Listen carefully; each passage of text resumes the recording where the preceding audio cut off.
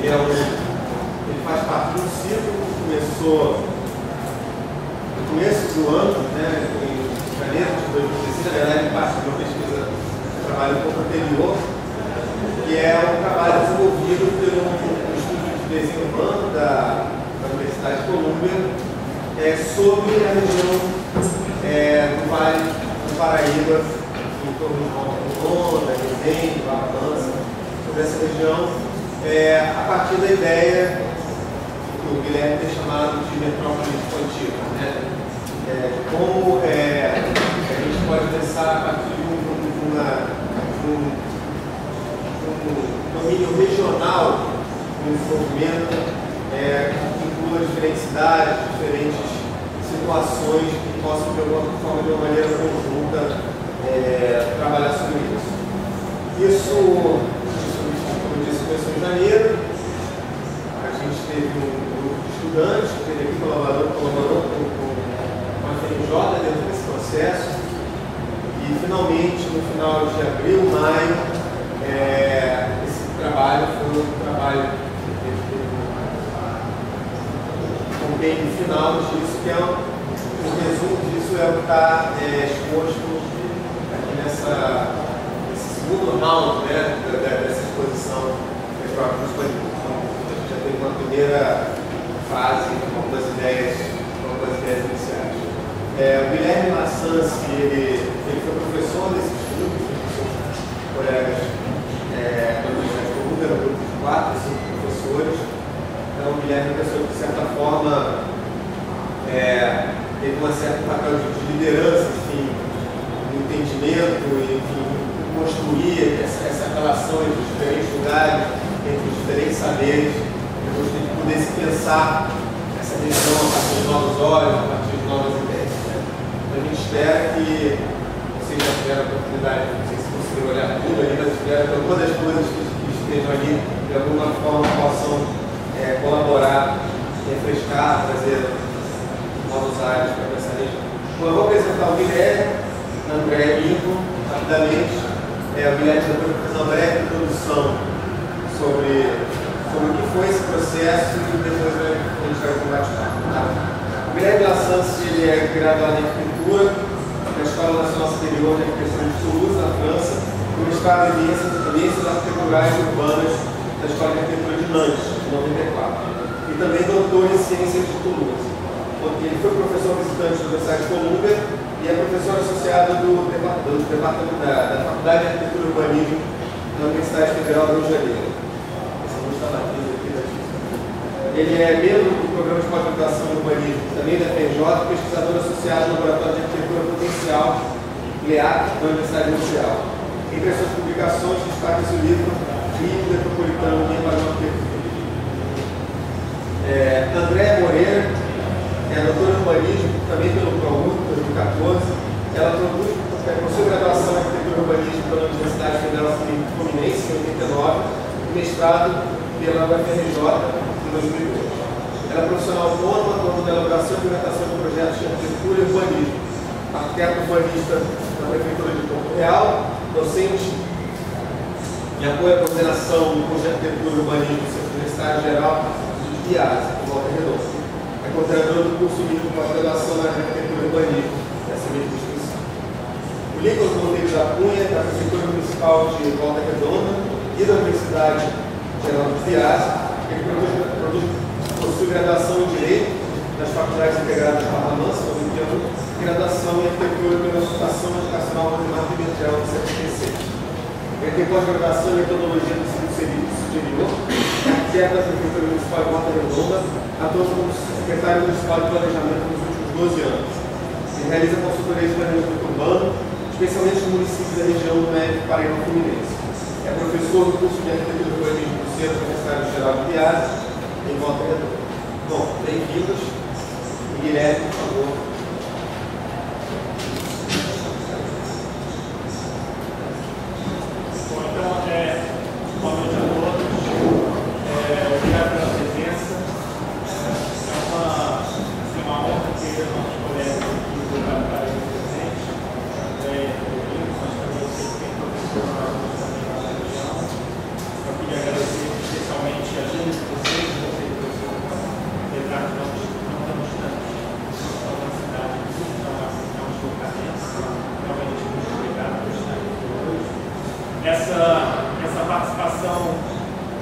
vocês, o trabalho foi muito importante para eles, o trabalho que a gente desenvolveu é, lá na Universidade de Colômbia. Começamos aqui em janeiro, começamos um pouco a, o processo. A gente começou, na realidade, há um ano atrás, quando eu tive uma das professoras da mesa, é, que é uma professora lá, ela esteve comigo, visitando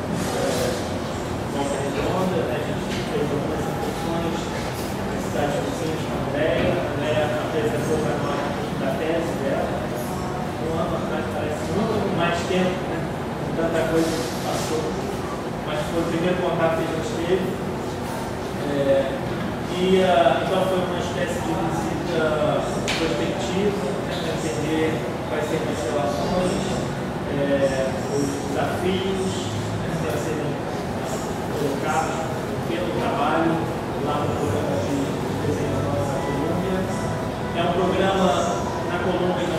Pode dar.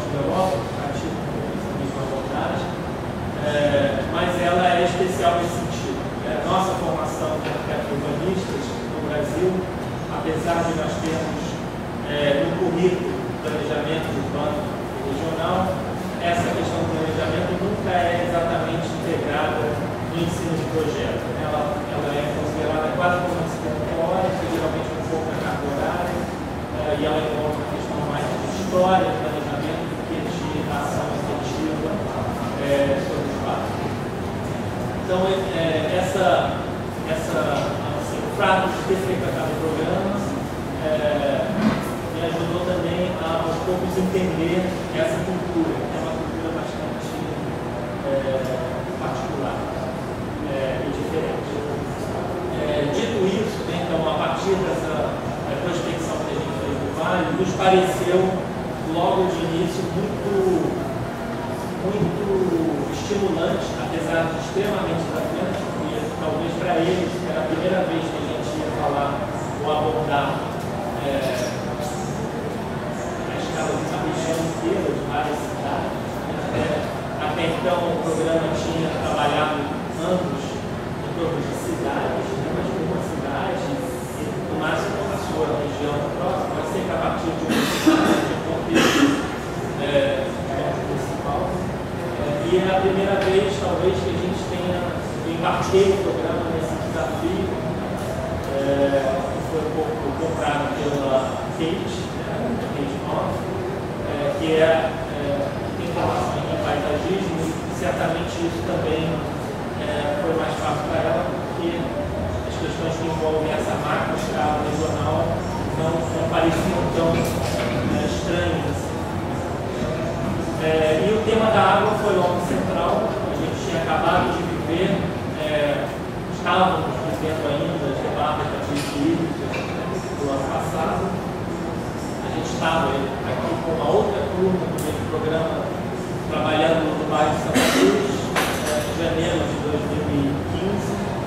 É, e a gente já ouvia falar então dessa questão da crise hídrica. Santa Cruz, para quem não conhece, é vizinho, é, talvez a região do Rio de Janeiro mais próxima da estação de tratamento do Bandu, né, que é onde chega a água do Vale do Itaí, o Rio Itaí chega ali, é, desce a montanha por elevatórios, bombas, etc., para é, abastecer essa estação de tratamento e abastecer 80% da água consumida na região metropolitana do Rio de Janeiro, né, o que é, é enorme. E aí, e aí, então, essa, esse conceito de metrópole expandida, no sentido não apenas do que eu vou falar daqui a pouco, que é uma hipótese de construção de uma entidade metropolitana da região, né? animou um pouco e alimentou as discussões durante o semestre lá em Nova York, mas também a ideia de uma dependência que a metrópole do Rio de Janeiro tem em relação a essa região do Vale do Paraíba. Dependência não apenas em termos de água, e só isso já, bastava, já bastaria para é, justificar né, essa relação é, mais articulada, mas também dependência energética, né, por parte da energia elétrica vem do tratamento da água do Paraíba, é, que alimenta também, é, faz funcionar a nossa cidade, é, o viário, né, que liga o Rio de Janeiro com São Paulo e todo o sul do Brasil, né, é também uma espécie de cordão umbilical da região, né, porque por ali passa boa parte da mercadoria, né, em alimentos também, de comércio, de indústria. É, isso sem falar de outras, é, outros canais, como a rede ferroviária. Então, é, uma, é um corredor né, de, é um elo é, que nos mantém vivos, é, fundamental e, por incrível que pareça, a nossa consciência disso, a nossa, vou falar assim, como carioca, posso ver claramente na minha instituição, que é a Universidade Federal do Rio de Janeiro, uma pequena instituição. O conhecimento que a gente tem disso é quase. A gente ouviu falar um pouco durante a crise hídrica, mas não é uma coisa que está na nossa pele, no nosso entendimento.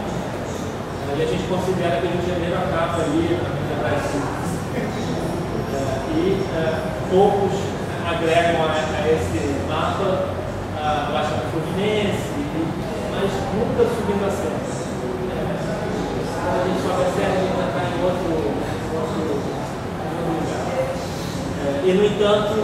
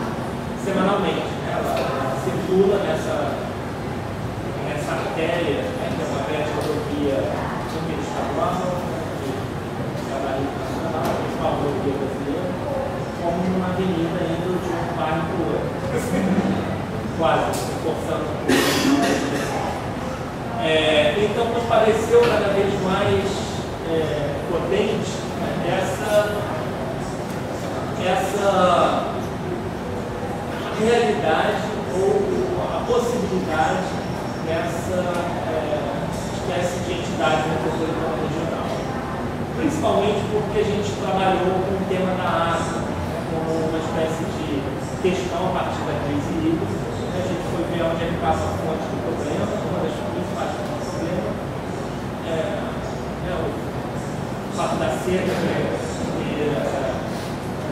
afetado tanto os mananciais as represas, o rio ter baixado o mundo, é, e o fato da gente estar nessa, né, ter estado nessa espécie de crise. Então a gente subiu a serra e fomos ver de perto em que, em que estão, e pode parecer um pouco estranho, né, em que arquitetos urbanistas, né, dentro de um programa de projeto urbano, qual seria o papel ou a nossa contribuição numa crise hídrica. Né, e a gente costuma dizer, não, isso é problema de outras pessoas, né, é, políticas, da, do máximo de, né, de profissionais que lidam com é, engenharia ambiental, recursos físicos. Né? Geralmente, esses editais, quando eles saem lá nas, nas chamadas de pesquisa, eles são quase que orientados para isso. Né? A gente, inclusive, durante o semestre, respondeu ao grande edital é, dos BRICS, né? do Brasil, Rússia, Índia e China. Um dos temas era a questão hídrica, uh, e a gente respondeu com parceiros, né? graças a agora hoje construir parcerias ali para esse edital com Índia e China, principalmente, é, problemas enfrentados por eles então eram arquitetos urbanistas desses três países, né, internacional, respondendo ao edital é, sobre a questão da água, e, mas o, o resultado foi é, premiar mais uma vez a engenharia, né, ou seja, aqueles mesmos especialistas com as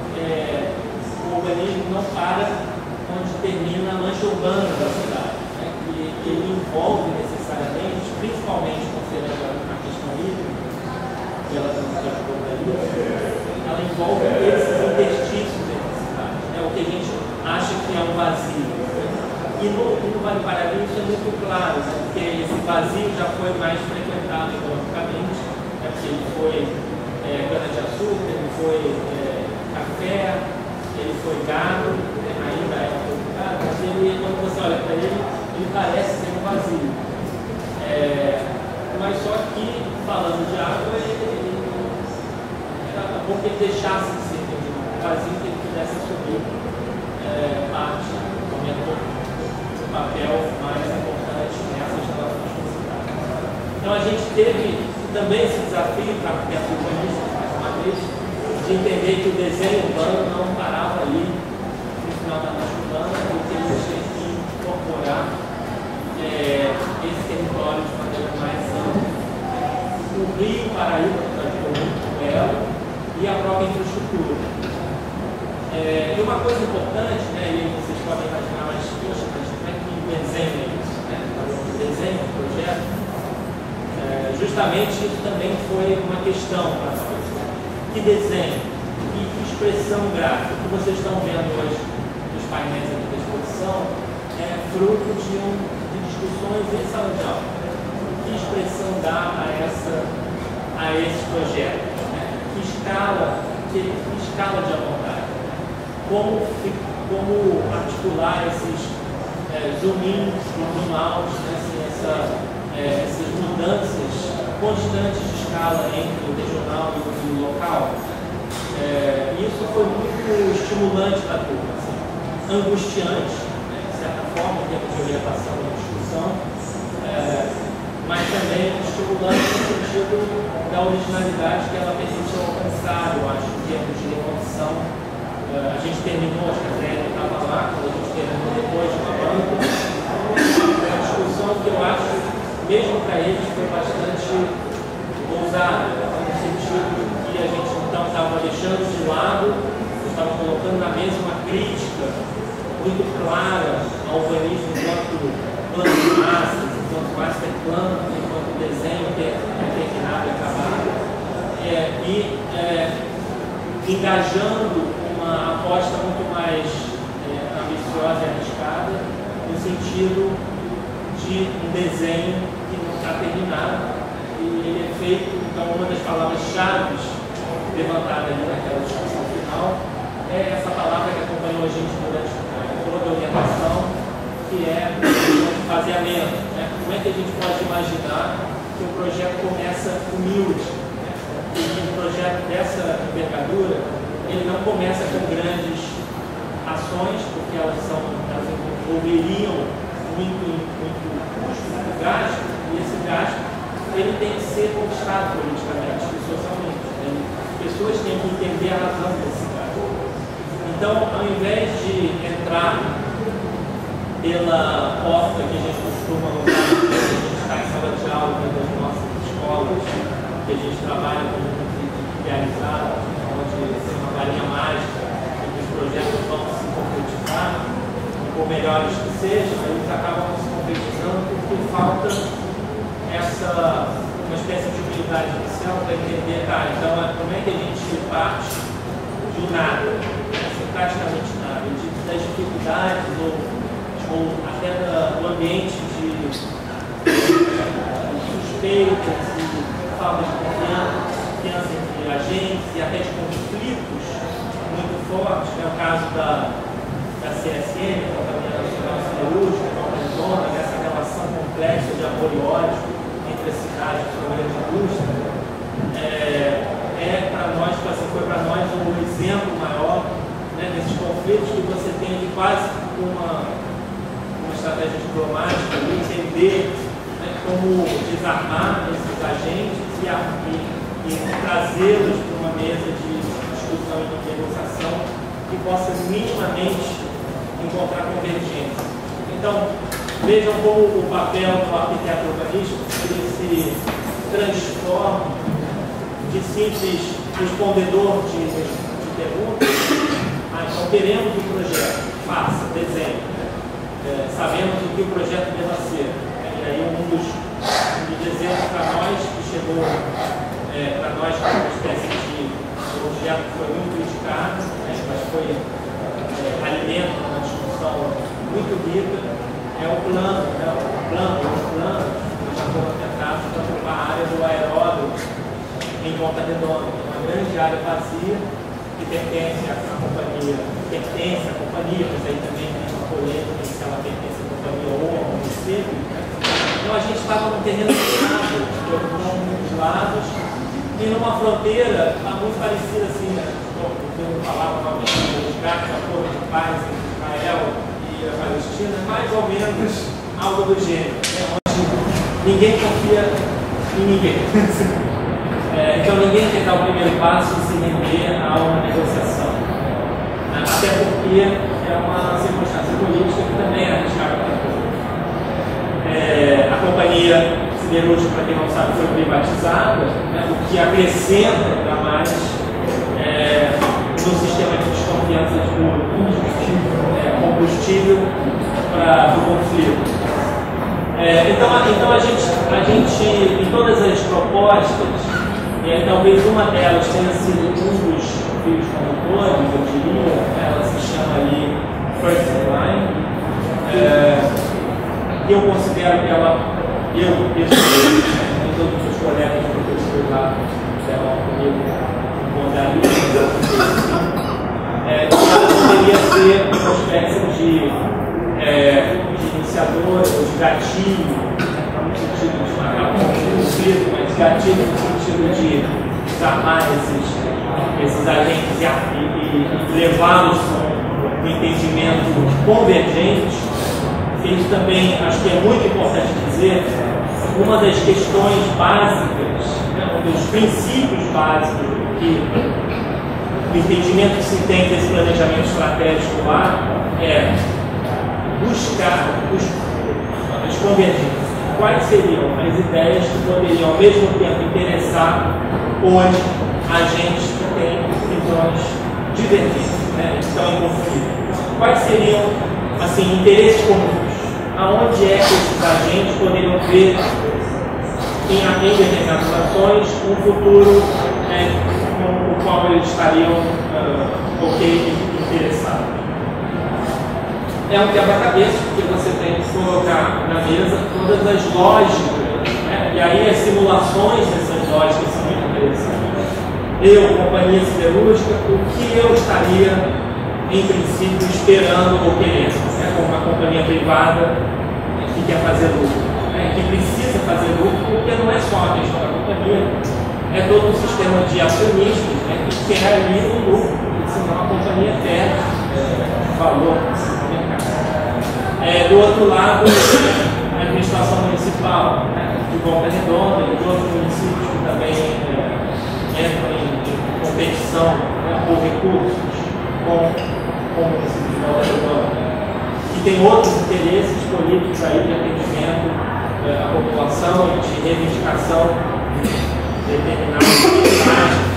Né, que, é, então, é, são visões, visões que, um pouco numa, numa analogia muito forçada em relação ao que está hoje, no Brasil, por outras razões, né, você pode ler aqui, pode ler ali, né, é, discursos se apoiam em, lógicas que se é, explicam cada uma do seu jeito é, e que impedem, em princípio, né, lógicas é, são construídas de tal maneira que impedem é, a aceitação da visão do outro. Então isso gera essas, divisões todas. É, e aí então esse papel de meio campo é que o planejador, que é a urbanista nesse sentido, sentido, e a formação deles lá para isso, vai ter que operar para poder trazer essas pessoas numa mesa de discussão para fazer andar é, e evoluir um pouco da situação, é, e a gente considera a situação problemática, situação problemática que tem efeitos é, problemáticos não só localmente, mas a gente está vendo também regionalmente até nacionalmente. Né? São efeitos que transcendem e que impedem é, essa situação de evoluir para toda.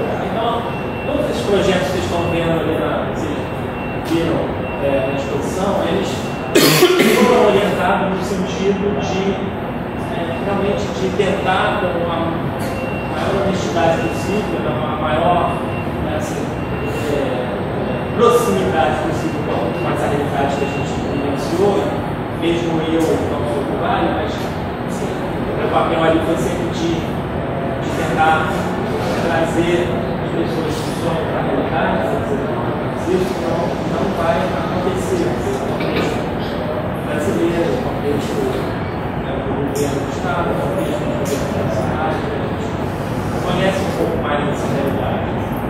Não são eles que conhecem ainda mais, mas foi uma, maneira de, criar essa interrupção à distância né, e de o tempo todo lembrar que a gente tinha que do sonho para alcançar algo que tivesse alguma chance de concretização não exatamente e necessariamente esse projeto, mas o raciocínio, sabe?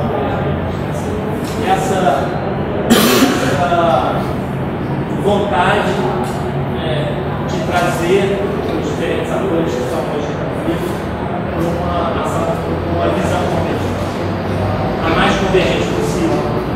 E aí, aí, aí só para terminar, porque eu queria que a gente pudesse também se, se posicionar em relação a isso, é, imaginar então que a gente pudesse começar bem pequeno. No, no, eu, sei que a gente já ouviu falar desse, desse, desse conceito de planejamento estratégico no Rio de Janeiro, geralmente, e ele tem sido cada vez mais, é, eu poderia dizer, demonializado, né, por tudo que a gente passou, uh, e aí muito isso em parênteses, mas eu faço parte daqueles que acham que o planejamento estratégico na sua índole né, como uma arma. O bem e para o mal. Não que necessariamente a gente tenha usado o mal no dinheiro, mas houve, né, por conta da olímpica, esse um certo atropelamento, principalmente no sentido da participação, etc. Mas quando eu falo de planejamento estratégico, e aí eu vou falar uma outra palavra que muito aqui no meu meio acadêmico de marketing, é que a gente constrói através que possa fazer sentido não só externamente, mas internamente para a população local, da gente. E que através dessa, dessa imagem, dessa visão que se construa em torno de um conceito de identidade, algumas pequenas ações possam é, acontecer.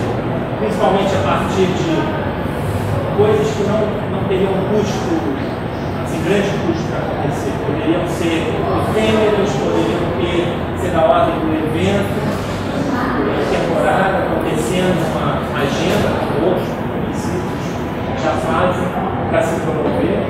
E como é que através dessa visão que você vende, uma espécie de marketing estratégico, você consegue emplacar no, no, né, no, no cenário de fluxo de investimentos e, possíveis é, parceiros né, para o desenvolvimento, é, tanto, volto a repetir, tanto externamente quanto internamente, porque hoje também há necessidade de um conhecimento local entre municípios, é, para que, então, nesse, né, você consiga colocar toda essa realidade no ambiente é, de raciocínio, percepção diferente, né, de representação global daquela situação diferente, né, que consiga entender, entender e vislumbrar essa, essa mudança. Né. Às vezes é, um, é uma palavra-chave, é uma maneira, é um slogan, é, assim, desculpem estar um pouco abusando desses conceitos aqui, talvez de, de maneira muito direta demais, como acostumado a essa discussão, e que tem muito preconceito em relação a isso, em geral, acho que no Brasil existe mas a gente usou precedentes que não estão falando dos Estados Unidos, como é, o Vale do Arkansas, por exemplo, né, que é uma região extremamente marcada economicamente, não é o caso, longe, longe disso, do Vale do Paraíba, mas que cresceu muito, porque soube se articular para gerar uma nova imagem, atrair e internamente, envolver as pessoas envolver a população, fazê-las com que elas, com que a população participasse, não apenas por uma tarefa, mas realmente participasse por acreditar. É, exemplos como o Vale do Ruhr, na, na, na Alemanha, também passou por um declínio dos caras uma região de, de altíssimo, e que conseguiu sair sair dessa situação porque as pessoas precisavam se articular a favor de uma articulação que não envolve precisar todo compromisso, mas aos poucos vai é, Então, um pouco isso que eu queria colocar sobre essa. Agora, um pouco que me interessa nessa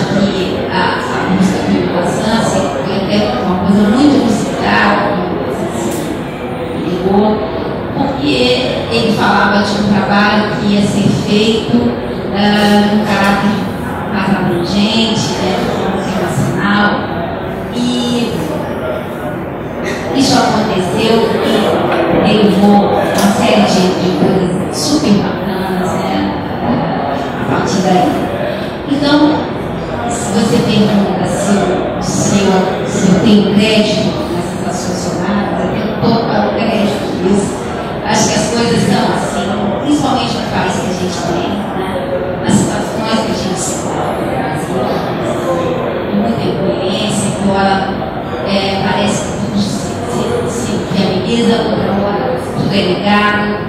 Então, eu acho que a gente não pode deixar de acreditar nessa, uh, em criar possibilidades convergentes para dores tão reais.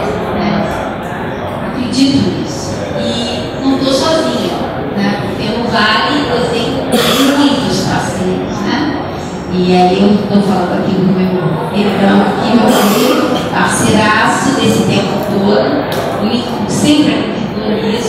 Ele tem uma experiência muito grande como gestor daquela região, mas é, os pequenos projetos que eu é, dizia para ele, ele acreditava, levava os técnicos do SAI, levava os técnicos do saneamento, do meio ambiente, para palestras que eram nada, era uma palestra disciplinar.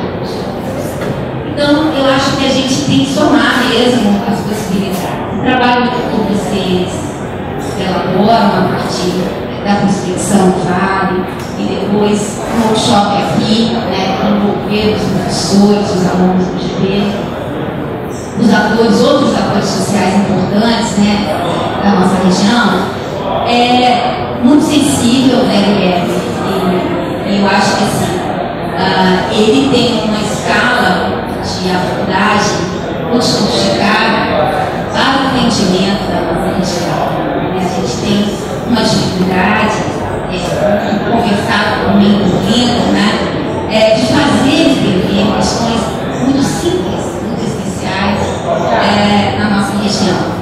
Porque é, ainda há um patrimônio socioambiental, urbano e rural em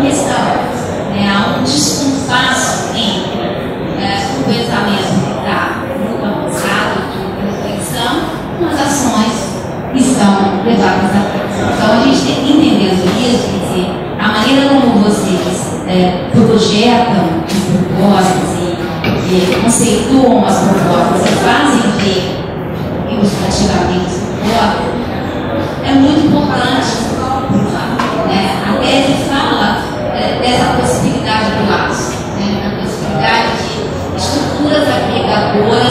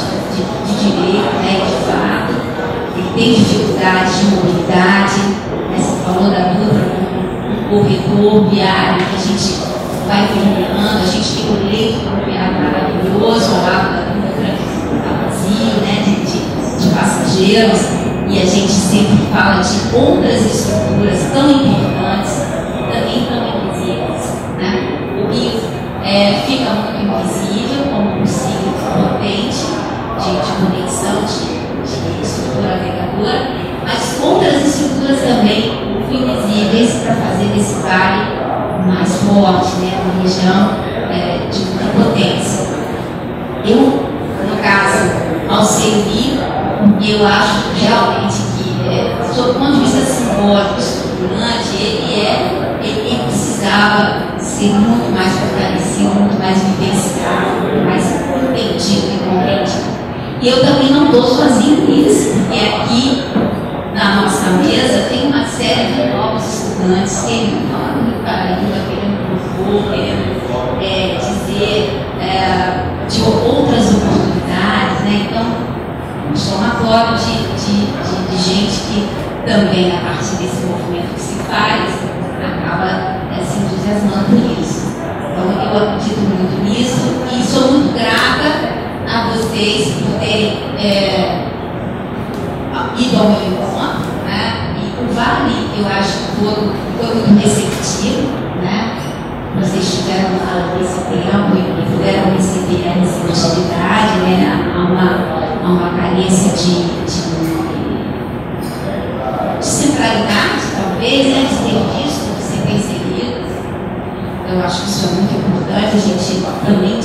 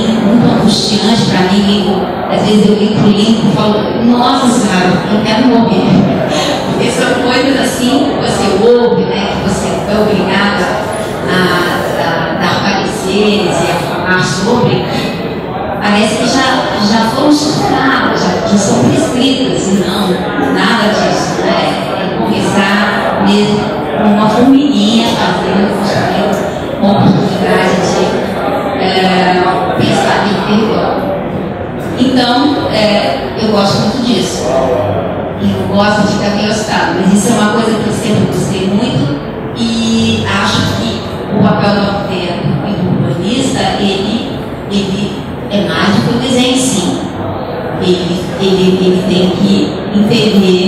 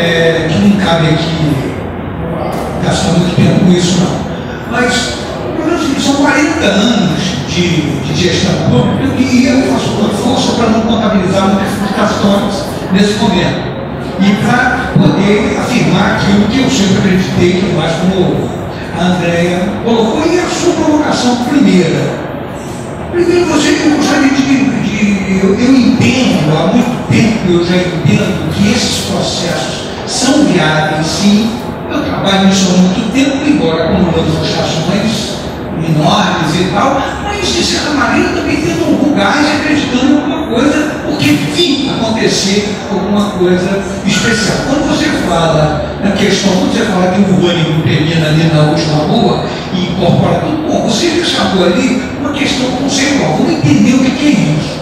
Eu, quando vi ali já o título do trabalho, Metrópolis Curtida, já me deu um problema. Já criou um problema. Porque, veja bem, minha formação é de arquiteto urbanista, de arquiteto urbanista, mas é de, da minha área do direito. E eu sou professor de direito público também, trabalhei muitos anos nisso. E, veja bem, tô, nós temos um problema grave totalmente diferente dos Estados Unidos com relação a essa questão da conversão da área metropolitana. A metropolitana, você conceituou aqui, classicamente, academicamente, que a área metropolitana ela é um espaço construído a partir da circulação da mercadoria. É na extensão da mercadoria. O que define o espaço metropolitano? A capacidade de uh, aonde alcança. Lá a gente tinha na CSN, tinha no seu plano inicial a, a ideia do cinturão fornecedor, que não tinha é a distância, onde está o cinturão fornecedor? Está na distância de que você pode ir e vir no expediente. Olha, nesse aspecto, todo o Vale do Paraíba estaria dentro da ordem da região metropolitana do Rio de Janeiro. Não obstante em termos de definição, não é. Então, quando você coloca metrópole expandido, você criou uma porra de, um, uma confusão desgraçada na porra dos conceitos de, de, de, de metropolitana. Você já criou um, um, um rolo aí, né? porque o conceito de região metropolitana não é esse. É, é. E outra questão, veja bem, quando região metropolitana é fácil de gerenciar e administrar, de entender nos Estados Unidos, por conta de que lá tem as formações dos condados, os condados são mera, são mera regiões administrativas, como você falou. É uma questão é muito física e operacional. Aqui não. Aqui os municípios são entes federativos. Então, como é que você monta uma autoridade metropolitana com entes federativos? Não monta. Não monta. Então, no ordenamento constitucional passado, foi criada a região metropolitana do Rio de Janeiro, por exemplo IDP, eu acompanho essa história muito tempo, né? Ah, era a União que definia, no ordenamento constitucional passado, era a União que definia a região metropolitana.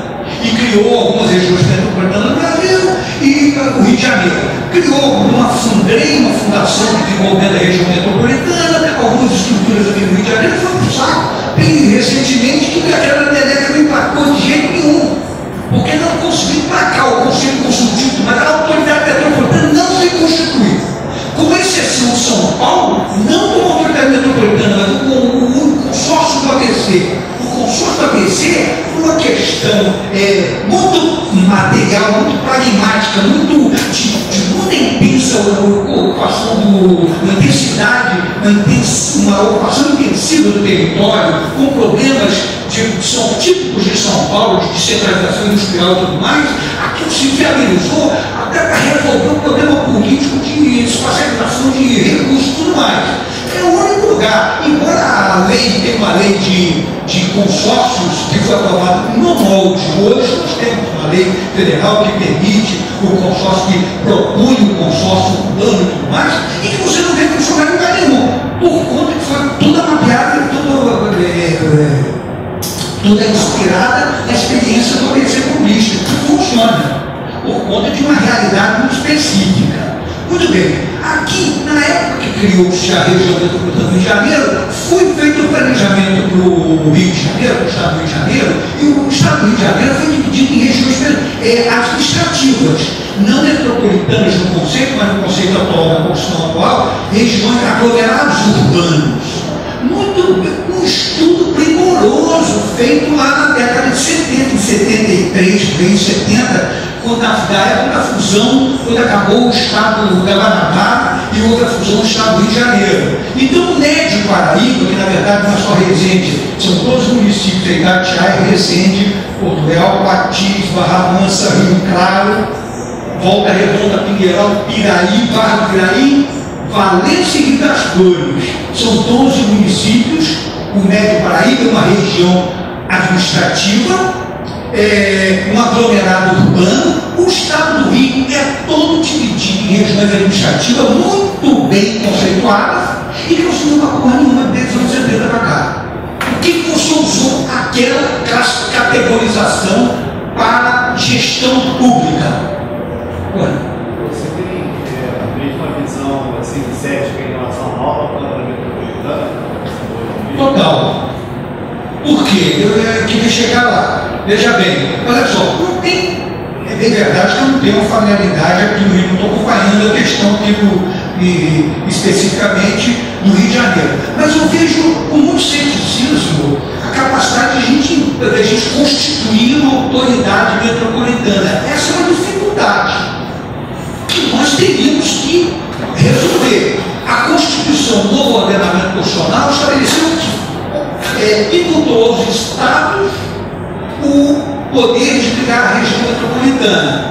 E quando é, envolve mais do Estado, uma região metropolitana é a rede e é a União que tem o papel de fazer isso, de criar.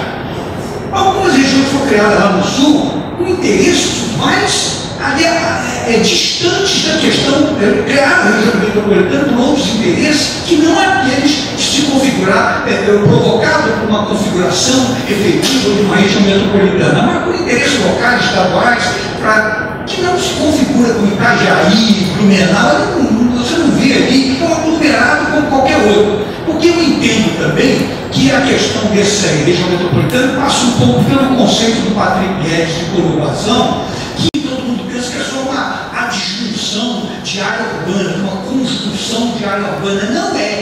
Patrick Guedes, ele fala que conurbação é esse espraiamento, essa invasão por toda uma região de área urbana que vai se misturando, mas a partir de um centro atrativo. Então aí a região metropolitana, do ponto de vista do Patrick Guedes, no governo da conurbação, seria o Rio de Janeiro até a Baixada e tudo mais. Para transpor a, a, a serra e incorporar com a ideia de metrópole expandida, essa discussão teria que ser também, é problema, você problematiza essa discussão quando você coloca esse conceito de metrópole expandida. Mas você, você traz um elemento forte, que é o seguinte, água dessa região acabou de Janeiro. Então, funcionalmente, estruturalmente, tem algumas questões. Como resolver isso?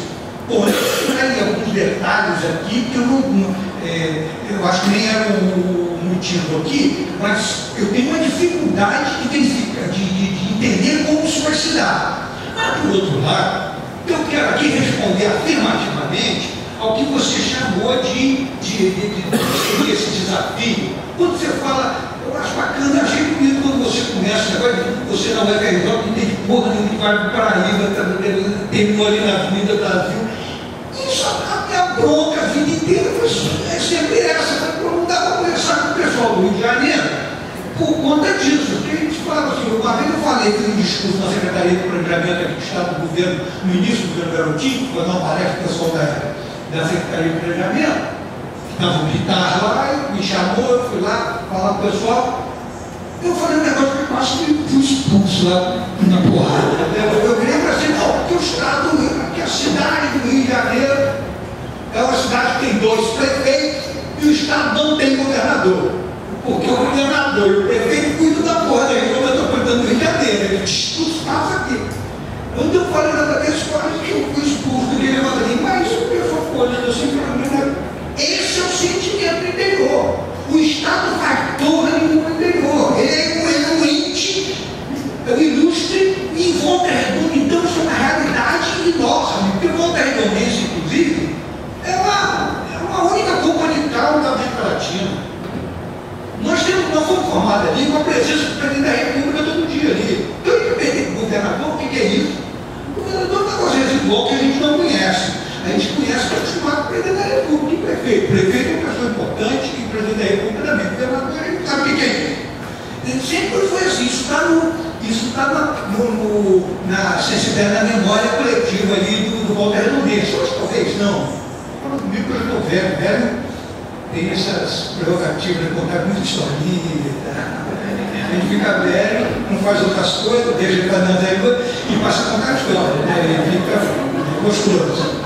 É, gostoso é velho por causa disso, qualquer história. Talvez isso não signifique porra nenhuma, o pessoal daqui, para mim significa.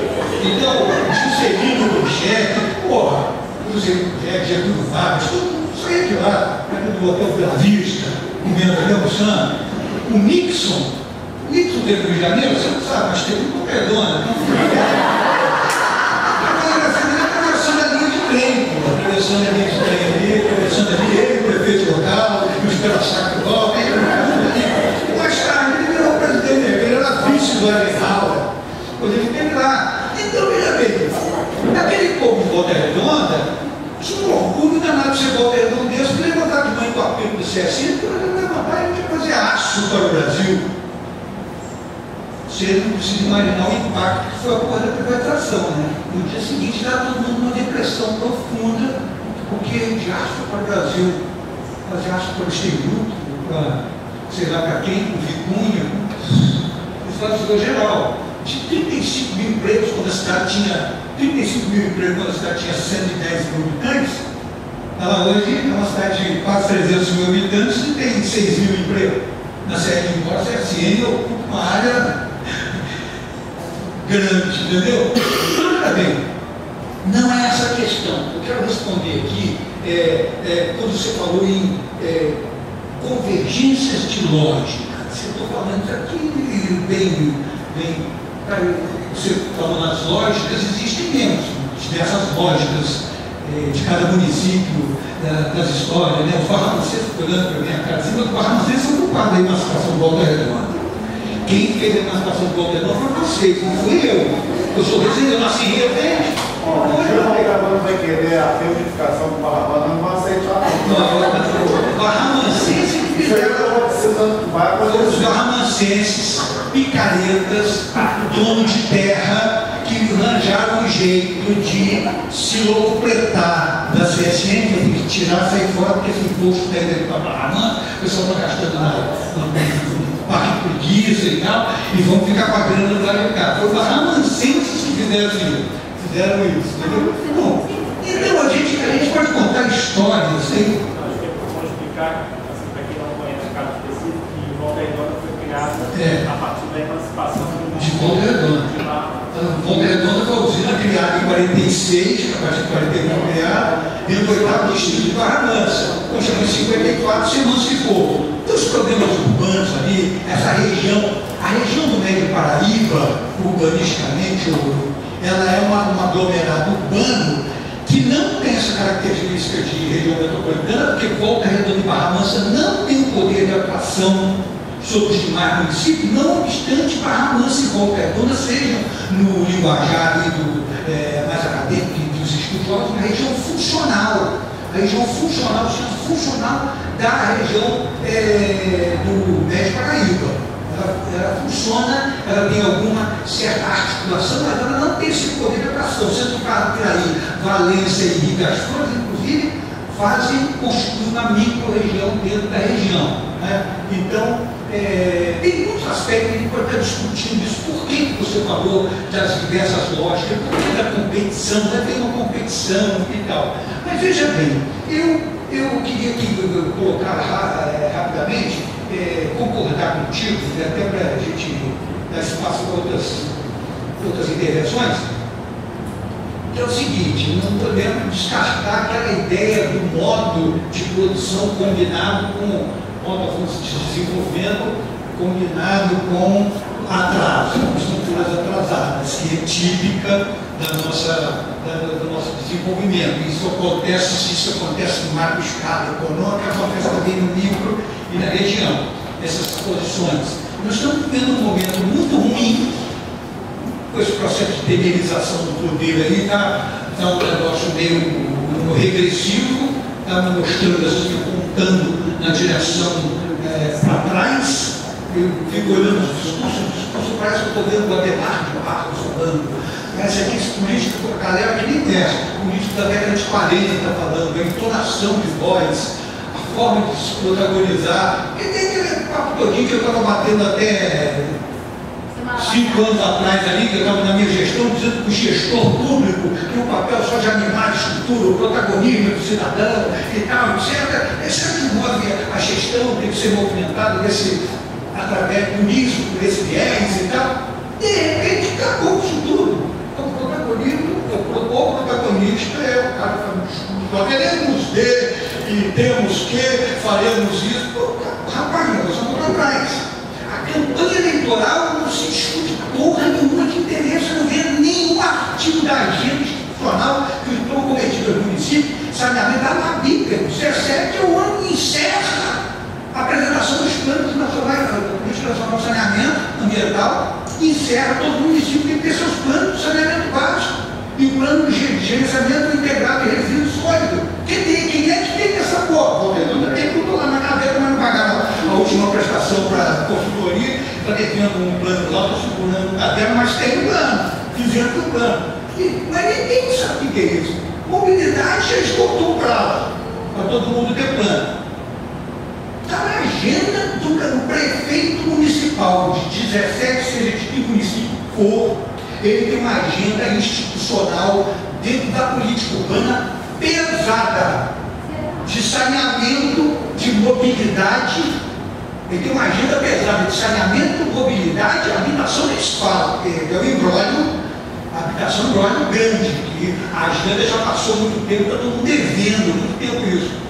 Ninguém discute isso. Você não vê essa discussão na, na, na eleição, na campanha de nada. E nos próprios candidatos, você não vê a menor perspectiva de qualquer um deles vir discutir essa questão.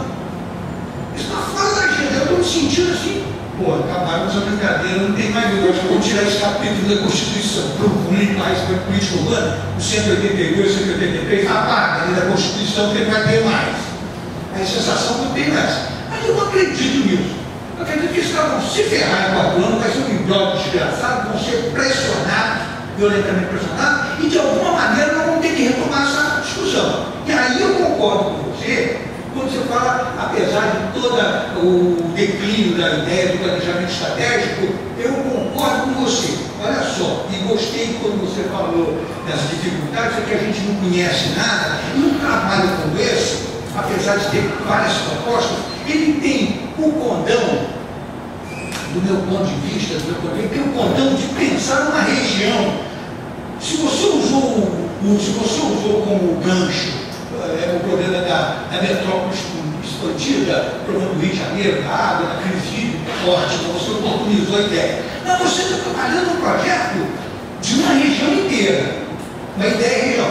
Há 40 anos atrás, se a minha discussão toda entre os meus colegas da vida inteira, sempre de cargo de gestão, foi sempre essa, de tentar um acordo, nós temos planejamento estratégico regional.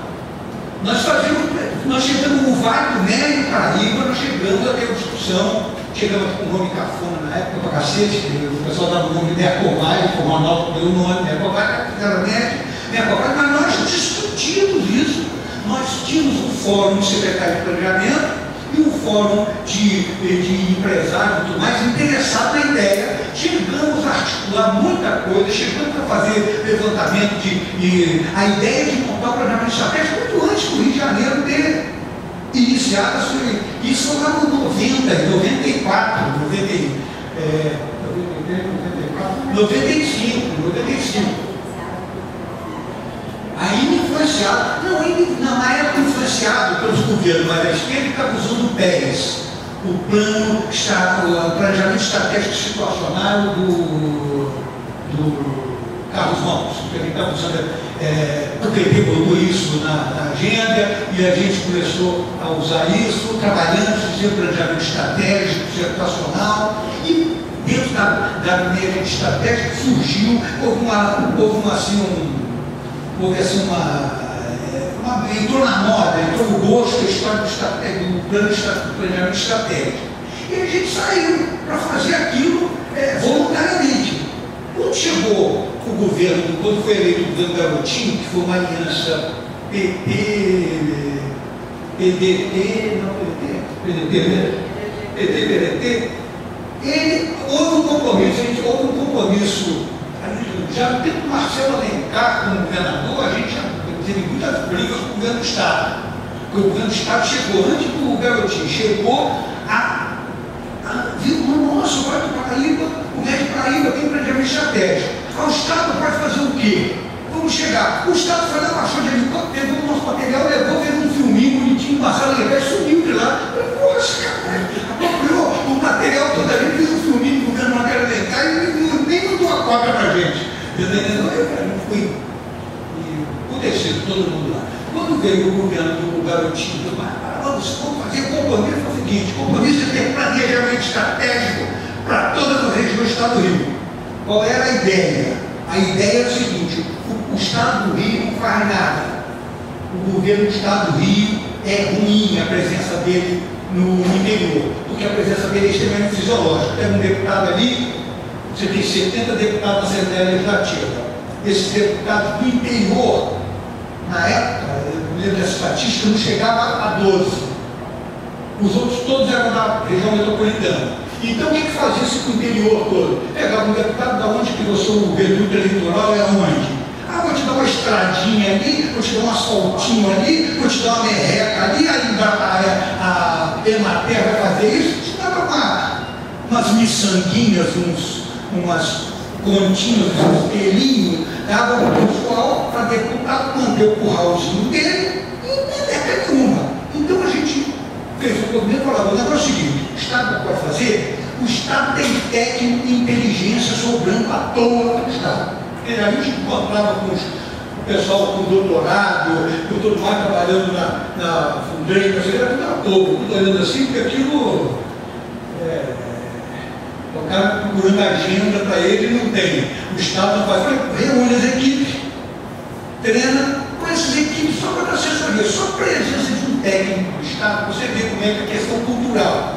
Se você marca uma reunião, se eu Lincoln lá chamava uma reunião da região, eu ficava no telefone o tempo todo, conseguia, tive até moral suficiente para isso não posso reclamar. Reunia o secretário da região, chamava lá o pessoal, quebrar o galho do Lincoln, falar o Lincoln é chato para cacete, senão ele está telefonando, vamos lá, vamos lá fazer reunião. Mas se viesse um técnico qualquer, qualquer, sem nome, desconhecido, não falei do Estado do Rio, o governador está mandando um técnico que dá, de um órgão qualquer, está querendo uma reunião, o pessoal, todo mundo vai, mas não, o que quer, o que está acontecendo? E não tem esse poder para o Estado, por si só, tem poder de coagulação. Por que não usar esse poder para organizar minimamente isso?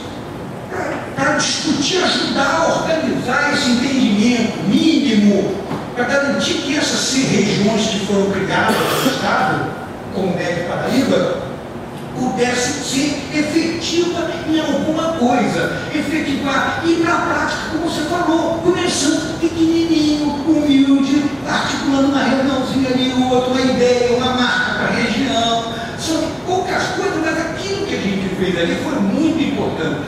Acabou rendendo, e a gente acreditava nisso. O que, que aconteceu no garotinho?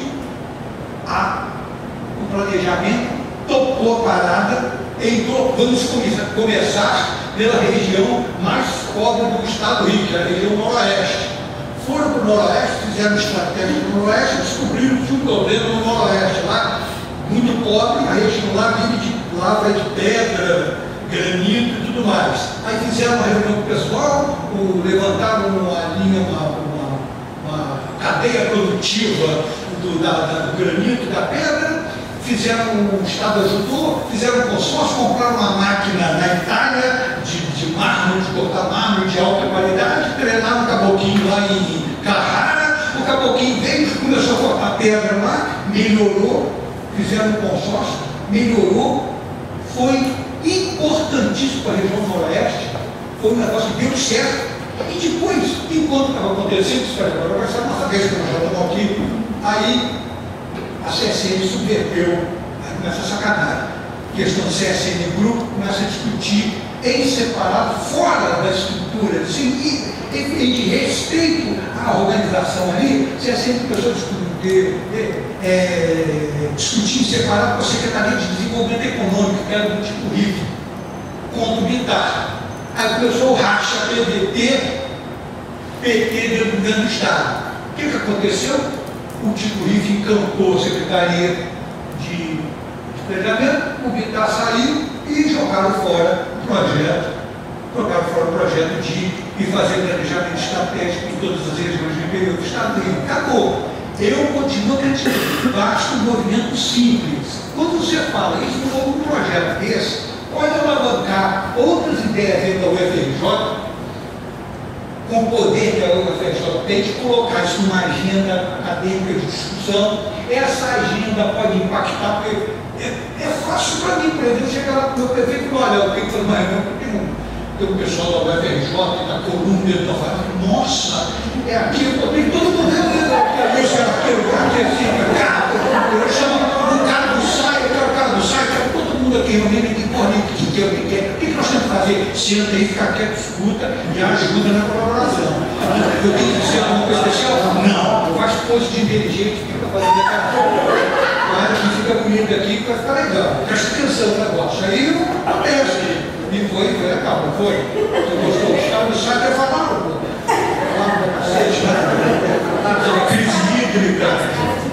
Mas para entender todo mundo aqui, assim, que é coluna, nós de tradução simultânea, então, que chique Eu falava pra cacete, eu falava pra cacete, foda-se, tem que estar ouvindo, aí a gente ficava olhando para a regalada aqui, aí o Guilherme ele falou isso. Aí eu falava, você está mais comigo. Eu fazia um discurso de meia hora, eu, o Guilherme falou isso, o quê? Aí ele disse, ok, era isso capite, entendeu tudo. Mas foi legal. Só que também fica sabendo que ela anda contando as mentiras da para ela e o platoteiro achou que Mas foi, eu saquei. Mas foi deu tudo certo, porque ela gostou. Ela falou para Deus, você não, você não acredita. Eu vou contar comigo agora, eu vou na frente de todo mundo, contar uma mentira.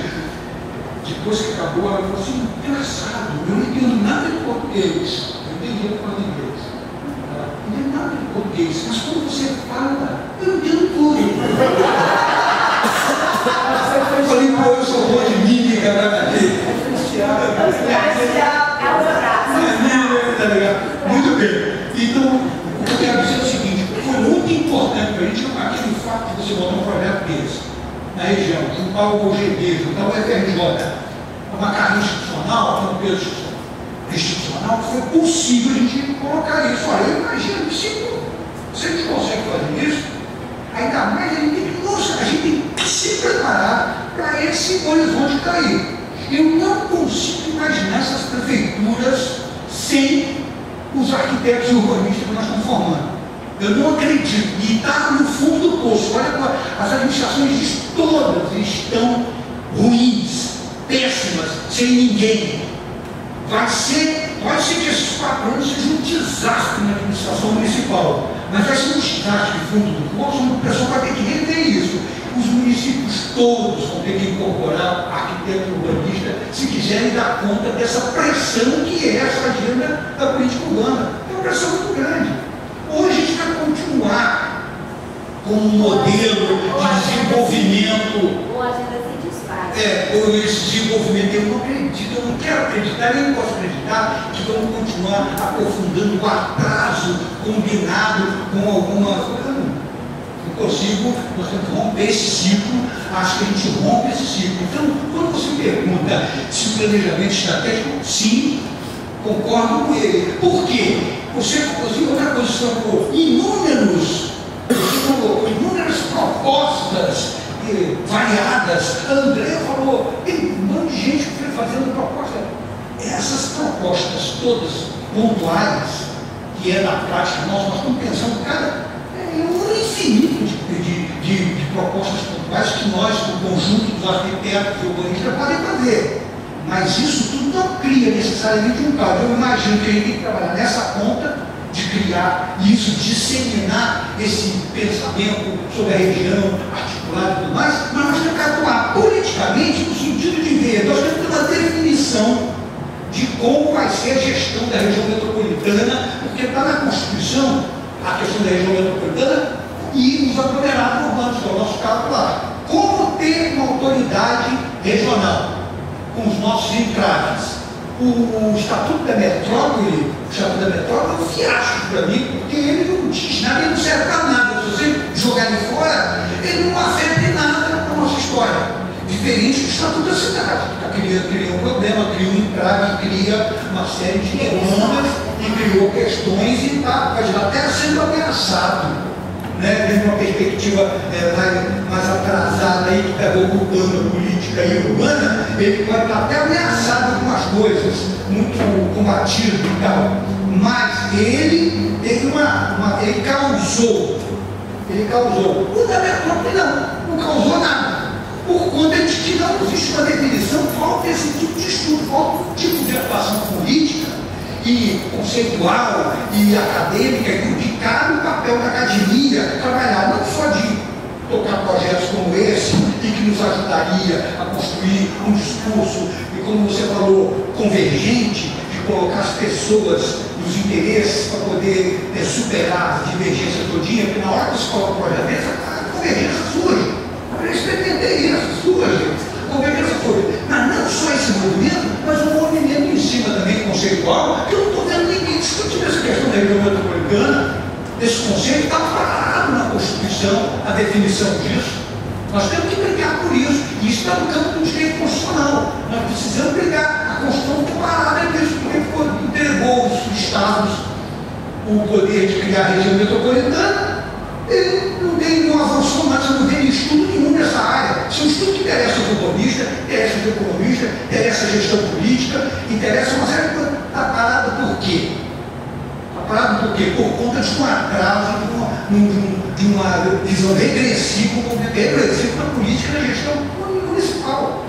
Né? Quer dizer, por que você não pode começar com um conselho consultivo? Eu não sei, ele, eu tenho visto é, notícias, não tem detalhe que ele perguntou aqui. Mas eu, no primeiro momento, eu acho, eu acho sério. Se ele não fizer muito esforço, não tiver um outro tipo, um outro tipo de problema, pode acontecer o que você falou, pode um desprestígio da ideia do planejamento estratégico. Acaba você queimando a boca, entendeu? Em vez de. Então, eu acho que esse, esse é o. É, para finalizar, é uma convergência de lógica, eu imagino uma, uma propulsão de, de, dessas ideias todas atomizadas, junto, combinado com a ideia compreensiva, a ideia de que você tem que discutir a questão da região metropolitana não pode discussionar, a hora é tem que bater boca lá no Congresso, entendeu? Tem que ir lá, essa merda dessa Constituição aqui está tá precisando ser definido isso legal. E tem que engajar nessa, nessa discussão. Mas a, a questão, só para deixar a palavra para quem quiser se expressar, questão da, da explodida também tem muito a ver com essa angústia de, todo caso, lá na instituição, na TJ, uma discussão que consiga transcender no Brasil. Né? Porque a gente é uma universidade federal e a gente só fala de município do Rio de Janeiro, basicamente. Você falou, a gente fala sempre que São Paulo discute mais o estado de São Paulo, Rio de Janeiro discute Paris. Então foi assim, foi um gancho de marketing. Tá?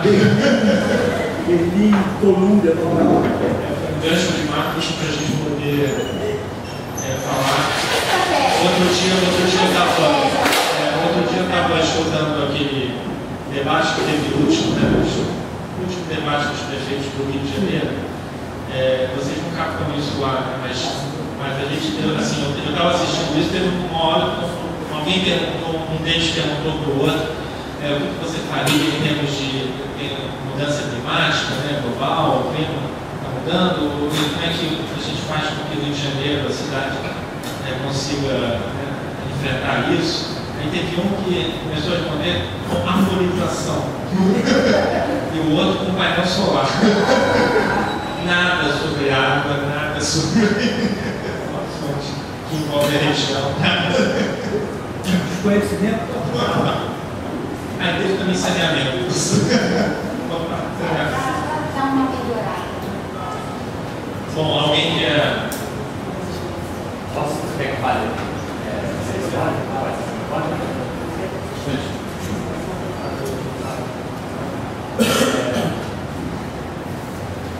Não, pode fazer o microfone. Não, é só porque eu, eu achei muito interessante todas as, as falas, na verdade, você não complementa, e até é, achei interessante porque, ah, de certa forma, até o, comentário que eu estava desde o início dessa apresentação foi sendo construído, né, que as três falas, que é basicamente a mesma reação à, à, à fala de que o urbanismo não acaba quando acaba a rua, né, ele continua nas áreas rurais, o urbanismo não para quando termina na urbana, né, foi uma fala do Guilherme. E aí, é, justamente, é, você terminou com tema do planejamento estratégico, que foi uma coisa que é, foi uma, uma espécie de solução, uma espécie de solução dessa, é, dessa nova ideia de urbanismo que ultrapassa esses limites. Né?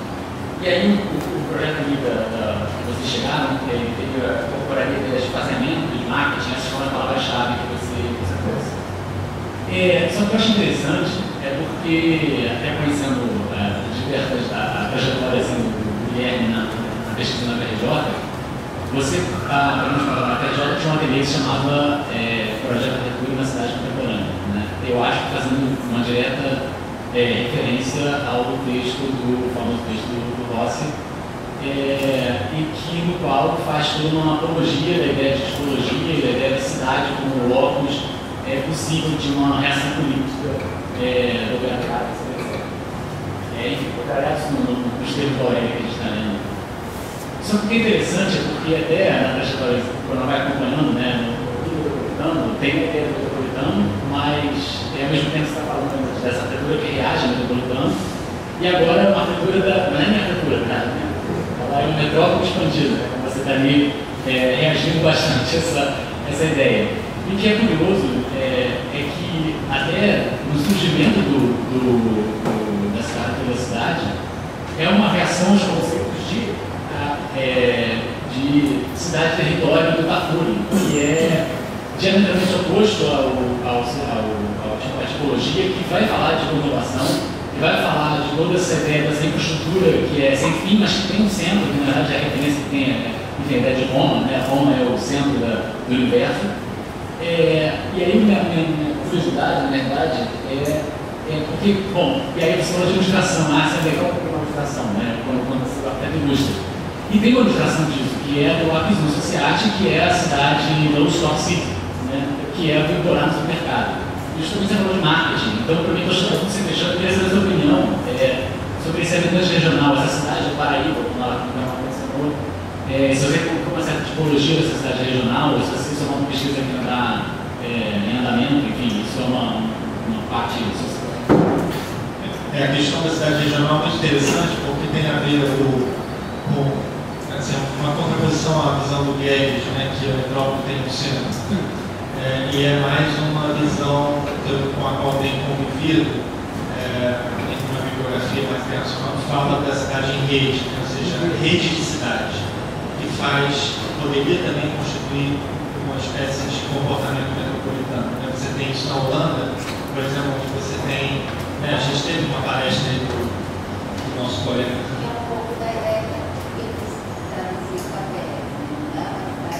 É, é, são vários polos, inclusive com complementaridades, né? cada um tem um papel nessa rede. É, então, então é essa ideia de que não tem hierarquicamente uma cidade que é mais importante, e aí você pode articular vários centros. É, assim, é quase uma, uma figura inversa do que acontece com o Rio de Janeiro, onde você tem o centro metropolitano do centro da cidade aqui, onde a gente está exatamente ele comanda uma vasta região em termos de dependência de emprego, de fluxo de mercadoria, etc. É, e a ideia de que o próprio Rio de Janeiro poderia também embarcar numa visão um pouco menos centralizada do seu centro, é, com distâncias que a gente hoje tem que percorrer. É, distribuir, eu diria. Não diluir, mas distribuir. Não diluir porque não, não é também porque o que acho que fabrica a cidade sem arquitetura da urbanização anônima é quando você está fora do centro. E essa, ela, acho que ela tem muito a ver com essa é, dualidade entre centro e periferia, que a gente vive muito hoje. É, onde você tem o centro super valorizado. É modelo nosso, eu acho que a gente herdou isso de uma tradição europeia, né? onde você tem o centro medieval e a cidade foi expandida até hoje um com mais valia e uma periferia é. menos valia? Não necessariamente menos valia, porque você também tem uma periferia emburguesada que também existe fora do centro. Mas na Europa? Tem, você vai para a Barra da Tijuca, a periferia é não periferia, mas só que ela é mais rica e privilegiada a população de alta renda que vive lá.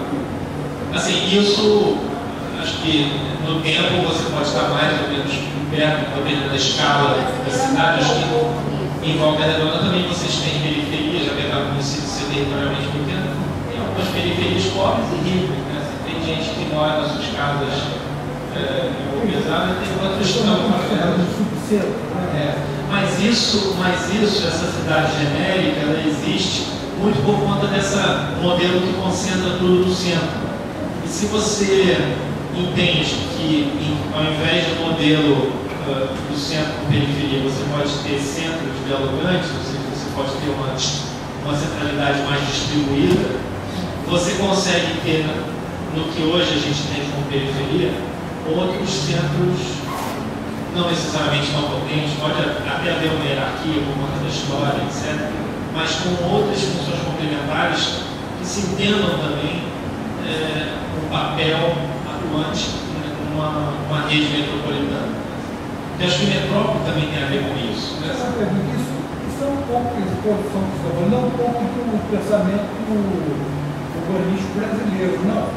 Na década de 70 tinha o programa de, cidade, de apoio, programa de apoio à cidade de porte médio, que tentava, nós fomos envolvidos nisso, inclusive, que era uma tentativa, era uma perspectiva de uma descentralização. A ideia era essa já dei essa explicação. Só que naquela época o que estava presidindo o pensamento era a teoria da, da França, lá do, do Peru, do, dos polos e tal, você tirando polos, gerar polos em cidade de Porto Médio para descentralizar o coisa. Eu não sei se isso é um pouco do pensamento brasileiro, que é uma das alternativas nossas, mas que isso que gerou esse planejamento que nós tivemos no Estado do Rio e tudo mais, e foi abortado de repente. Eu não sei que momento isso é abortado. Isso é... Não, teve um momento que as cidades médias iriam cumprir um papel é, bastante estratégico no é, Brasil, se acreditava nisso, no estudo do Império, né? E uma época, no início dos anos 2000, isso estava muito forte, né? várias publicações. Mas a, a ideia da, da, da tese, quando eu organizei exatamente as quatro cidades, é, era a ideia da ideia de, soma, de soma de potencialidades, não era uma ideia de, especialmente a questão de volta redonda uh, na UFRJ, é, eles identificavam Volta Redonda como alguma coisa que pudesse dar visibilidade ao trabalho. Então, não fala Volta Redonda, fala Volta Redonda e Mansa. Não, não quero falar Volta Redonda Barra Mansa, não. Não quero entrar nessa dicotomia, eu quero falar do Vale. E aí, do médio Vale. Você não vai dar conta, você vai falar das quatro cidades. Das quatro cidades como um pensamento de, de montar uma estratégia em rede. É que Volta Redonda não é o que ela é, porque a Mansa está ali, a Pira está ali, você tem Mineral, você tem Resende, que hoje é, né? E, e, e o Rio corta essas cidades e, e, e ele traz uma identidade para elas, pode trazer, e elas somadas ganham uma força é, muito forte. Né? Ganham força e, e repres, podem representar uma força. É, eu, eu, infelizmente, não conheço muito essas raízes brasileiras que você cita no planejamento regional de cidades médias. Mas eu, é, a referência que eu uso é uma política assim, declaradamente ativa da União Europeia de incentivar a regionalização e a parceria entre cidades médias e pequenas que não sobreviveriam à convenção internacional se não, se não se articulassem.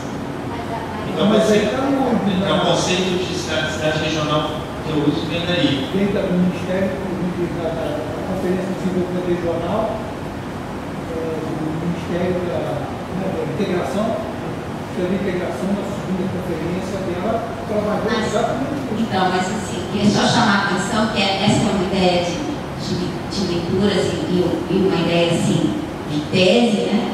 Mas é, isso é muito difícil, porque as cidades nossas são levadas a competir, né? Elas não são levadas a, a- a agregar, é, somar valores, né? Elas são levadas a competir, volta redonda com Resende, volta redonda com Barra Mansa, sempre. Então, a ideia é, era de colocar a possibilidade de, de ver forte o vale a partir da, da soma, que é uma ideia, vamos dizer assim, romântica a realidade que a gente tem, né? uma realidade não de soma, uma realidade de concorrência ainda.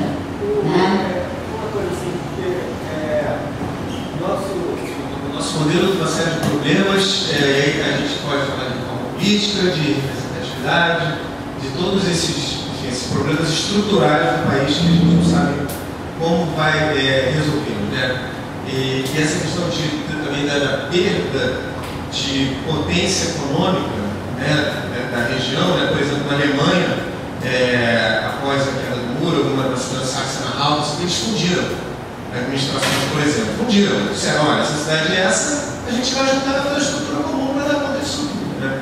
É, e a gente permanece dividido, a gente continua cada vez mais municípios. Né? É uma loucura, a gente sabe do impacto que teve, tem dois anos, sei lá, teve um processo grande de divisão novamente, impacto econômico, disso. Mas eu fico pensando também, enfim, se a gente sair um pouco do- da estrutura pública, e a gente pensa, se a gente tem tanta dificuldade nisso, parte do macroamento metropolitano, alguma coisa assim, mas aí eu penso assim, que não por exemplo, das associações comerciais, né? Dos, da, da, né, da- das associações de indústria. Como é, que, como é que essas entidades, as entidades que são mais dinâmicas e realmente é, têm um problema próprio para resolver, né? Porque o político é um problema próprio, é um problema tem um meandro de, de outras configurações para determinado. Como é que vocês entendem a participação dessas outras câmaras de organização dentro desse processo? Então, vou falar então com, isso de forma mais é, mas eu acho que são estruturas muito desoladas, muito desintegradas, no sentido de que é, os agentes que poderiam ah, integrar, eles não compreendem. Tem a indústria e o comércio, né? É, competem ainda. Ainda há uma cultura de competição mesmo. exemplo, A nossa região é uma região muito forte comercialmente e é, industrializada. Mas, assim, você tem é, estruturas é, estanques. Né? Então, você pega o CEIVAP, que, é o órgão que lida com a, a- a- com a gestão das águas, ele através da agência da GEVAP. Né? Ah, alguns assuntos relacionados com o Centro Rio não são levados a cabo. Eu, eu fui a várias reuniões da GEVAP, várias, fui convidada. É, todas as questões qualitativas sobre o Rio, de outra monta, são de outra referência, eles têm muita ligação com a tributação, com o quantitativo. Então são estruturas ainda, eu, eu me parece, muito sangues, entende? Os industriais, o pessoal da indústria, o pessoal do comércio, o pessoal que lida é, com, com o saneamento, né?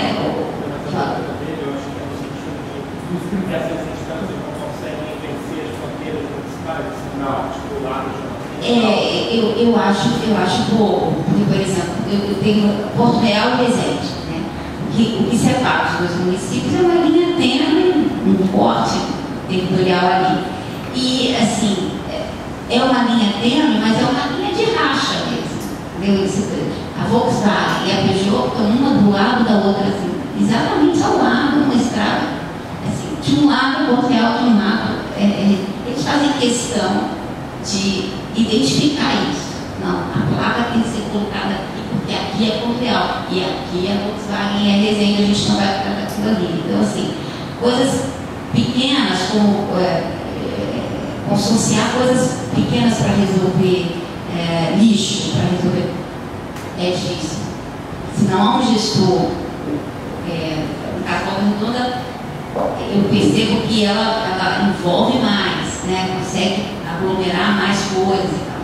No sentido privado para o eu acho muito desintegrado. Não sei o que me Essa, você falou da associação comercial. A associação comercial tem dificuldades, inclusive interna. Então, eu, internamente, o pessoal que representa o comércio, na indústria, é, por exemplo, onde a, a, a Associação Comercial Industrial a Água Pastoril. De serviços. E de serviços. E de serviços também?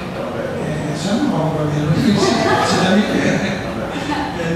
Então, então, veja bem, o Água Pastoril é uma mesma não tem quase nada território de água pastoril. E, e dificuldade com a indústria, e, bom, já tem um problema interno. E uma coisa que eu vejo mesmo na firmejante mais, eu vejo na fora, esses estudos todos não servem para nada nesse povo. Você pega, a, você pega a região, a jurisdição do escritório da Ferrejão Regional, contrassenso completo. É, é do, do Firjão Sul Fluminense. O que é Sul Fluminense? Sul Fluminense é uma categoria criada tempo do café.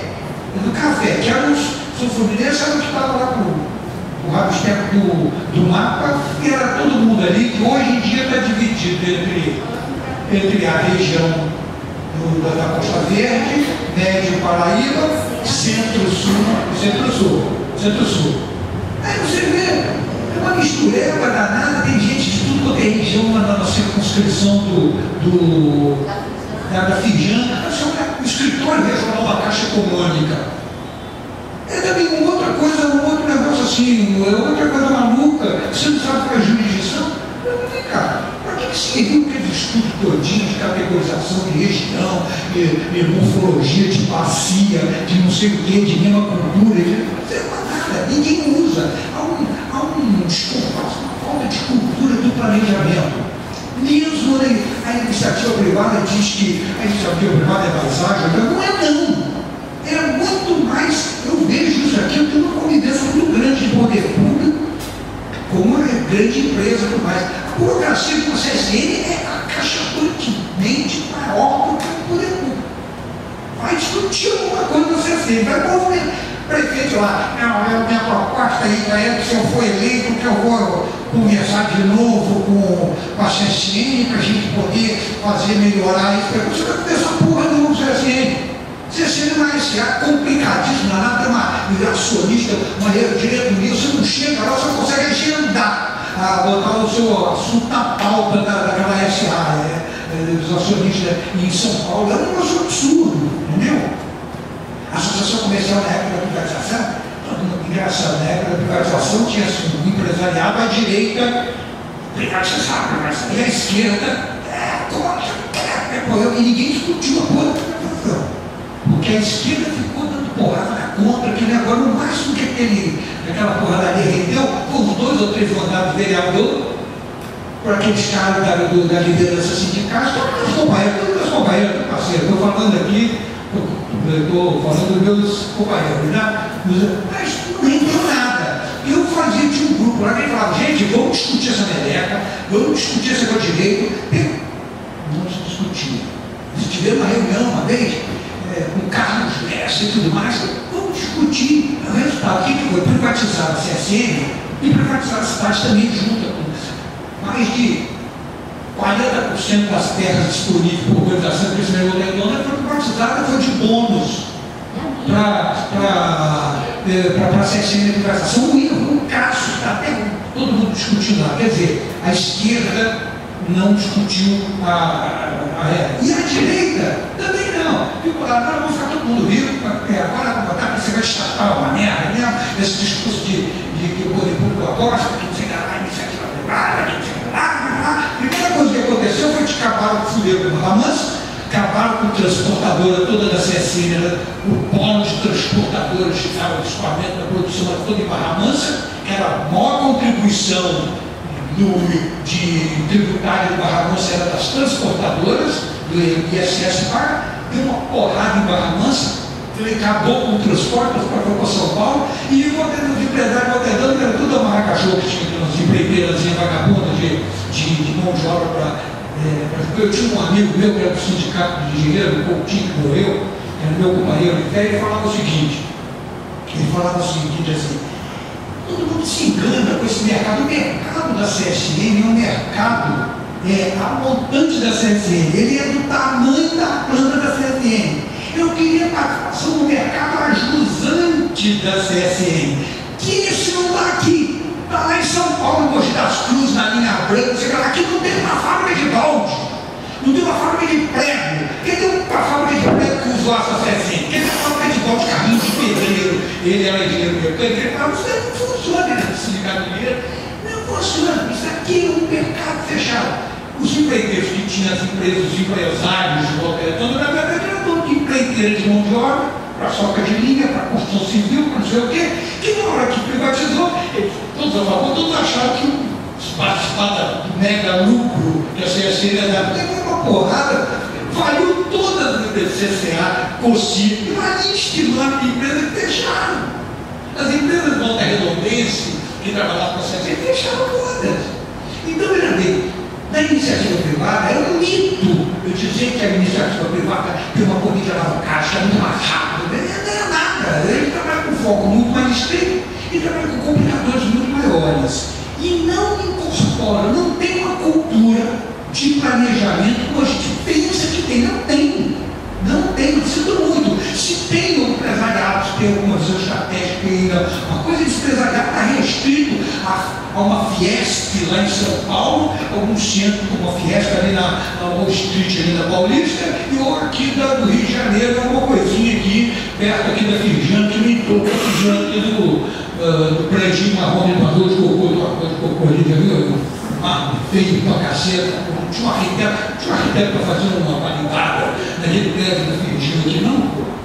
Um negócio em frente o, em frente o, o, o do Oscar Niemeyer, do, do Ministério da Educação, que ele primou, você olha assim, meu filho é até falava, olha, 50 anos, olha só que beleza, olha o entorno. O negócio não influenciou o entorno. Olha o entorno, cor de cocô, mar vermelho, preto, marrom, influenciou. Que diabo é isso? Que a nossa arquitetura não consegue influenciar.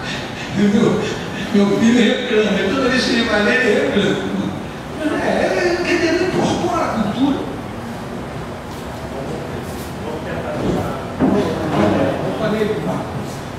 Obrigado, gente. Boa noite a todos. Bem, é, eu queria fazer alguns comentários. O Estado do Rio é um Estado sui generis no Brasil. Né? E, primeiro, tem a constatação de o Rio de Janeiro ter perdido o Estado Federal, que foi um pacto altíssimo.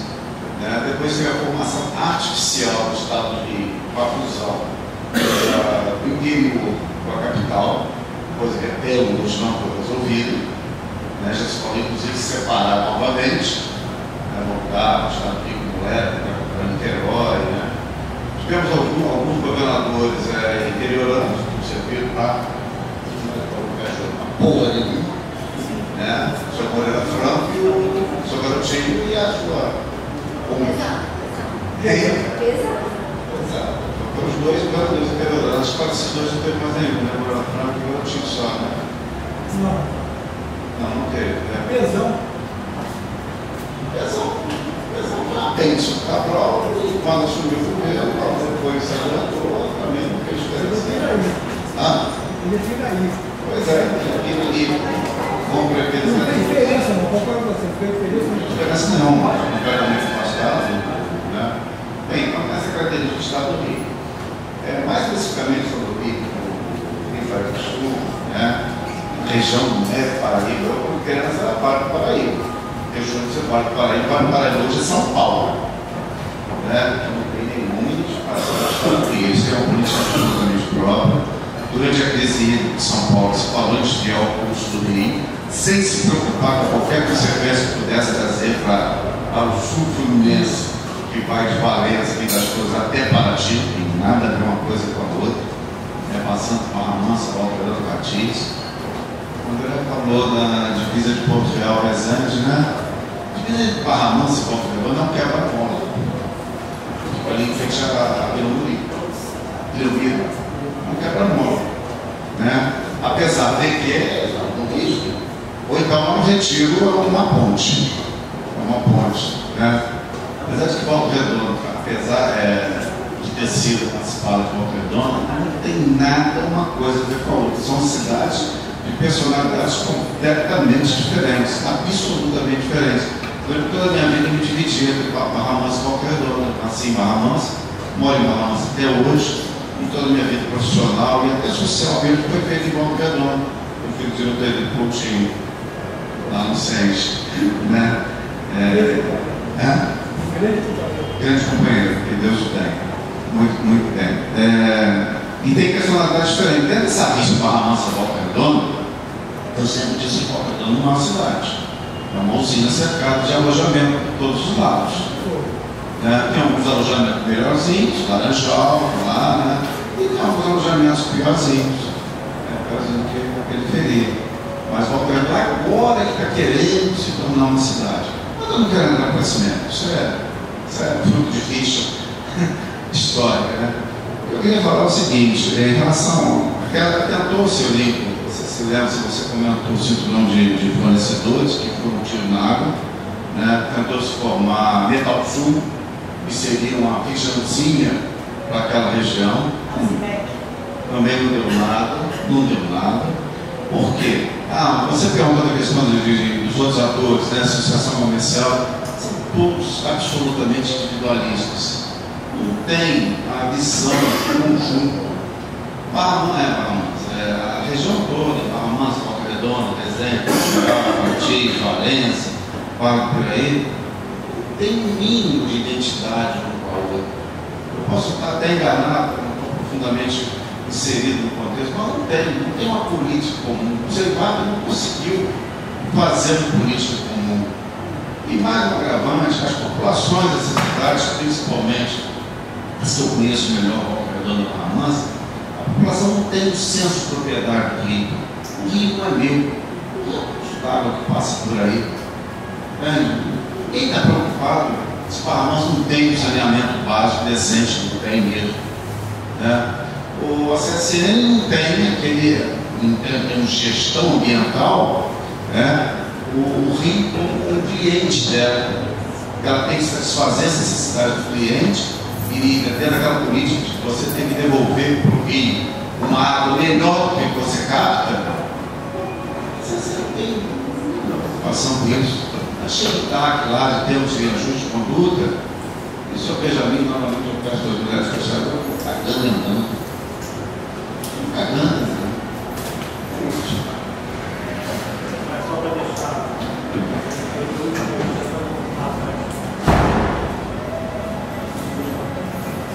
Ah, projeto urbanístico fica no papel, tá? Nada disso é executado. De administração para administração, se esquece tudo que foi feito nos últimos 5, 10 anos. É no papel. Boa noite. É, meu nome é Gabriel, fazendo doutorado em antropologia na UF. E só que eu tenho minha pesquisa sobre a ferrovia, mais especificamente em direção ao antigo sul fluminense e sobarense também de, de nascença. É, quero parabenizar primeiro o debate, é, fiquei sabendo esse final de semana não tive tempo de, de ler o documento, então a necessidade também depois de ter que pesquisar melhor.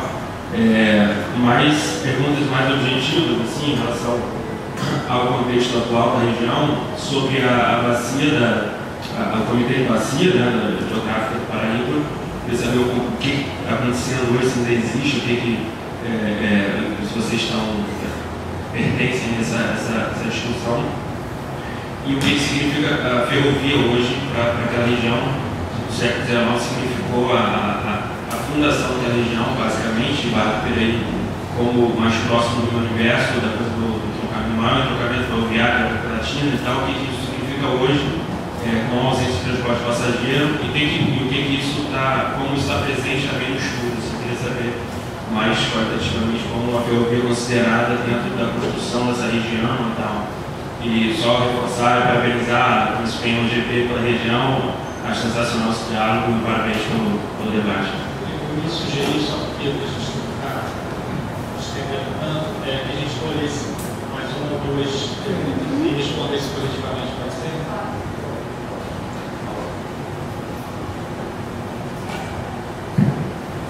Oi. É, eu queria pedir se a gente podia voltar um pouco no, acho, para a questão da ideia da, da metrópole. Porque é, em todas as conversas, em todas as coisas que vieram aqui, está parecendo uma coisa quase impossível, pelo menos no sentido administrativo. A gente tem uma questão federal. Ah, o Rio Metropolitano, a ideia falhou há pouco tempo, e a gente viu que ele falhou porque ela não consegue sobrepor a questão federativa. Né? Mas ao mesmo tempo a gente tem um discurso que é, que todo mundo concorda aqui, que é importante continuar pensando. Mas o continuar pensando é um pouco vai com aquela sua ideia do, do marketing, que eu acho que você estava até um pouco uh, se desculpando. Eu acho que não precisa. Eu acho que a gente tem que entender que tem certas coisas que a gente, já que oficialmente a gente não consegue montar um programa de gestão, não adianta ficar reclamando da gestão. Não dá. E a ideia que você falou assim, a gente tem que ir lá para o Congresso, mas isso também não. Pronto a reforma política é muito além, a cidade está crescendo, a metrópole está crescendo. Não dá para a gente esperar uma reforma política para pensar na metrópole. Ao mesmo tempo, a gente não tem instrumentos para implementar nada na escala da metrópole. Né? O Estado, é o Estado do jeito que a gente tem. E qualquer momento que você consegue, você tenta trazer os interesses, a gente sabe que esses interesses são importantes e que isso não existe nem poder para poder sobrepor as, as independências federativas. Então a gente tem um problema aqui. Nessa discussão, para mim, isso é o mais gritante. Porque tudo que foi falado, a ideia da metrópole, em termos práticos e pragmáticos, não existe. A ideia de implementar qualquer projeto é praticamente impossível. Né? Então a gente tem dois, dois caminhos aí, não é? ou, a minha pergunta é, existe alguma saída? Eu, particularmente, ainda não consegui enxergar nenhuma, mas se vocês têm, se vocês vislumbram, se não é pelo caminho é, é, do, do, do, colégio privado, das associações comerciais, que eu acho até realmente seria interessante não deixar por eles, mas até que ponto eles poderiam ser orquestrados para trabalhar juntos, isso seria um caminho, mas bom, a princípio vocês não concordam. Existe um outro caminho? Eu acho que essa discussão serve dessa, não é. Porque senão a gente fica muito bairrista e, e eu estou sendo aqui crítico, porque senão fica assim, não, porque o fulaninho, assim, não, não é essa a discussão aqui. A discussão é da escala metropolitana.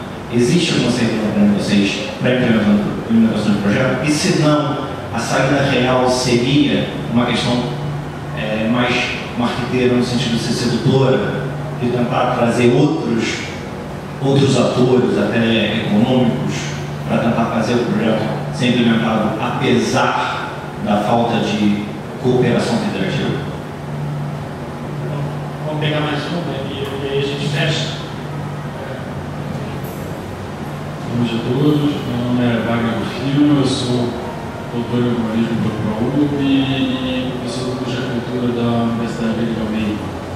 Uh, tem uma questão um depoimento para fazer, porque enfim, a Vale do Paraíba também faz parte do que eu venho pesquisando na vida acadêmica uh, sobre Resende, eu sou residência, enfim, sou da região, uh, e também uh, uma pesquisa que eu fiz no Vale, em São Paulo, comparando como é são as estruturas de governança e como o território sendo planejado nesses dois espaços, que na verdade é um espaço só, e depois de muito pessimismo em relação à questão territorial, regional, metropolitana no Brasil, eu hoje já considero que, apesar de toda a lentidão, de todo o processo de fragmentação que está cada vez mais agudo, uh, tanto nas estruturas governamentais quanto, quanto no repartimento da fragmentação sobre o espaço, é possível se ter uma perspectiva otimista uh, em relação ao que pode ocorrer ou em relação ao que a gente vem fazendo uh, nos territórios. Assim, porque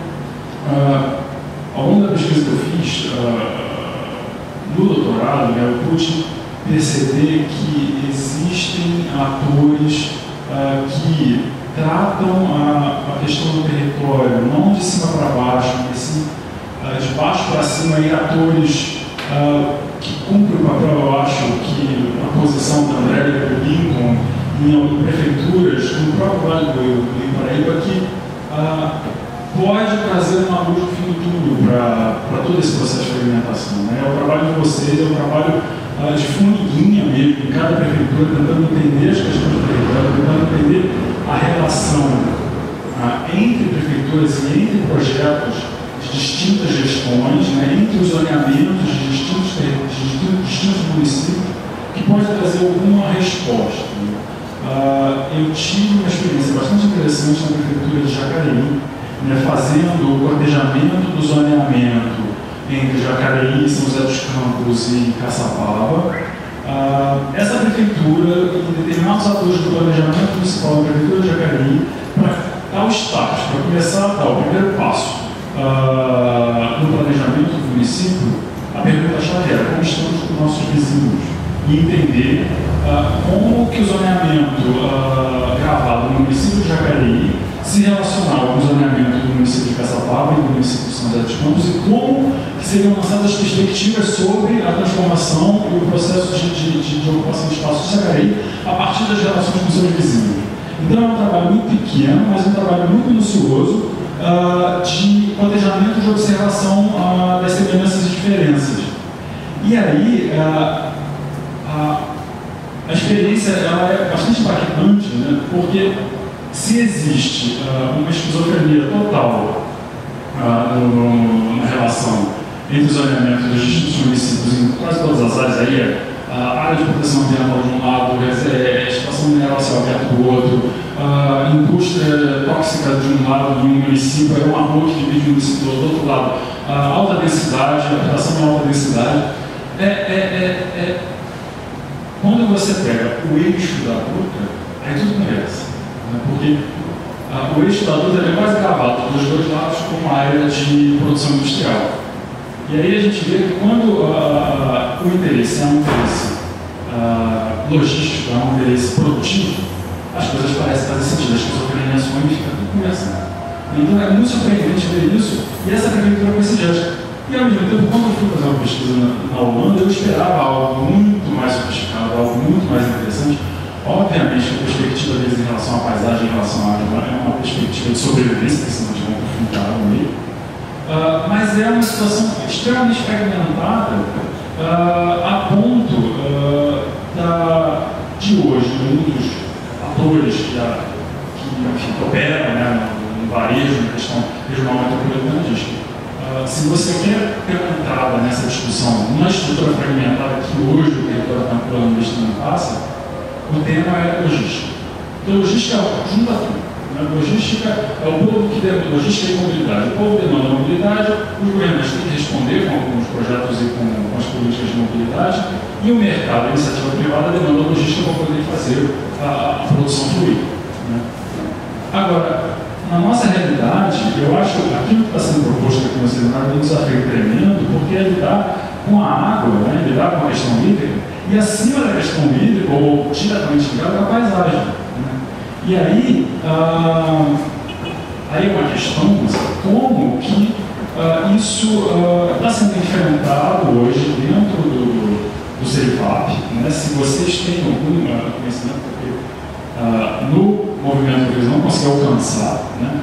a relação entre as duas fronteiras, né, Rio e São Paulo, que é uma esquisitice total, né? você tem a, a, a instituições operando no, Vale Fluminense, instituições operando no Vale Paulista, Uh, qual é a perspectiva dessas, uh, do diálogo entre Plaza, né, entre as regiões metropolitanas do Vale do Paraíba uh, Paulista, dialogarem com as administrações fluminenses, numa perspectiva que incorpore a discussão da paisagem como uma paisagem unificada? Né, porque me parece que isso ainda está em barco, senão não chega.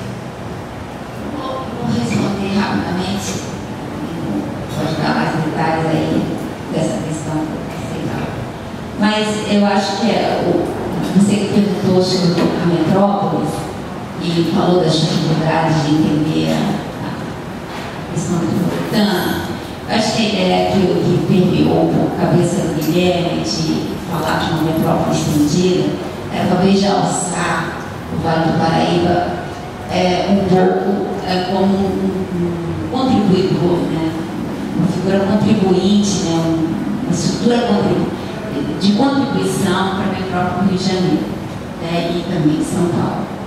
Então, essa, essa metrópole, esse entendimento de região metropolitana, é, um pouco romântica, né? essa coisa de você construir vários municípios, esses municípios todos serem ouvidos, terem voz, participarem ativamente, ela realmente está tá um pouco distante.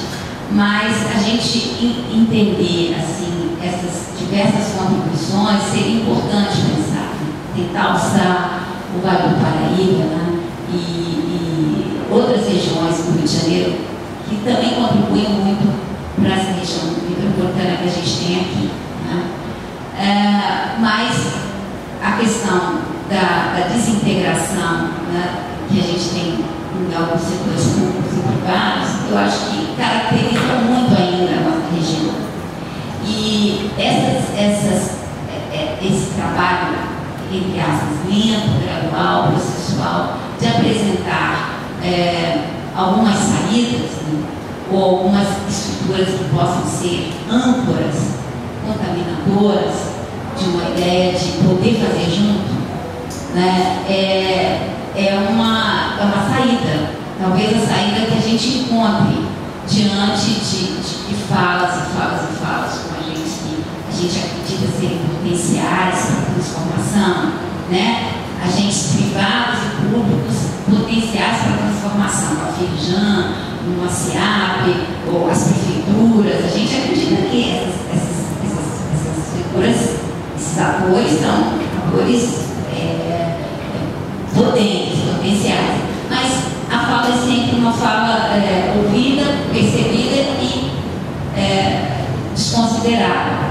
Então, há um, um por trás, né? há, uma, há algumas, é, algumas estratégias de rompimento, é, de ficar a reboque dessas estruturas também. Então, é, fazer com que elas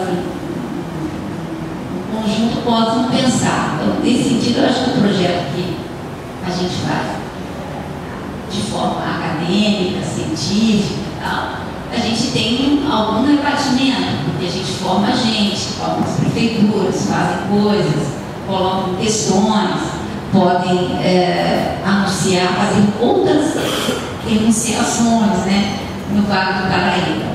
Mas eu acredito que é, você tentar fazer essa, esse laço é, é o caminho, né? É o caminho que a gente tenta ver por outras, de outras formas chegar até essas estruturas. O, o, o Vale do Paraíba, ele é, é são muitos vales no Paraíba ainda. Não há um vale do Paraíba, embora ele seja um rio. É, que tem um ritmo, né? que tem um ritmo e a gente consegue perceber uh, os vários vales ainda. Né? A gente queria que ele, ele pudesse ter um peso simbólico e articulador, uh, como em outras, algumas regiões ele tem um pouco mais. A gente fala do Vale Paulista, ele sabe, ele sabe muito, é, o Rio sabe um pouco mais do Rio, da história do Rio, das questões da cidade de São Paulo, porque algumas questões já foram resolvidas ali, questões de infraestrutura, questões mais do campo de planejamento também. Mas o rio, muitas vezes, ele é muito desconsiderado. Se a gente pega uma entidade como o CEPAP, e aí o rapaz perguntou sobre o CEPAP, né? O CEPAP tem uma, um olhar, é, o meu ponto de vista, muito duro em relação ao rio. Olhar ligado exatamente à questão da potência de contribuição da água, do lucro que a água possa fazer valer. Tem preocupações do trato da, da qualidade da água, de, de projetos científicos ligados a, a melhoria da água e tal, mas é sempre um, um, um olhar distante de um recurso hídrico para uh, ser utilizado. Né? Então, o rio é muito mais do que isso. É muito mais, deveria ser muito mais do que isso socialmente. E culturalmente pode ser. E assim a questão da, da preservação dele seria, poderia ser uma coisa completamente, é, vamos dizer assim, é, fácil de defender.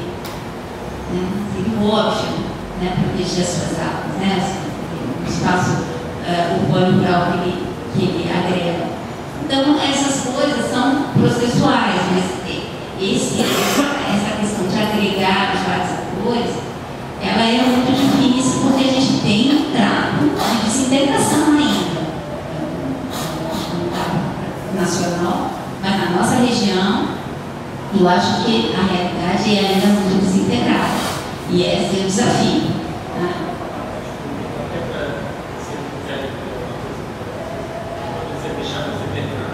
É, acho que assim, uma pergunta que foi feita a respeito a, sobre a, a perspectiva de solução disso, né? a solução da saída do estado de conflito, da desintegração. É, eu acredito, eu acho, assim, minha percepção é que a gente no Brasil ainda tem muito essa ideia de que para você fazer alguma coisa você precisa de competências, você precisa de um poder na mão, você precisa de um poder institucionalizado, constitucionalizado que te dê é, a, a, competência ou, ou, a possibilidade de mandar fazer. É, e aí realmente acho que isso é um grande entrave como está tudo estruturado pela lei, para você mudar a lei, você tem interesses políticos que não vão sair do caminho tão facilmente.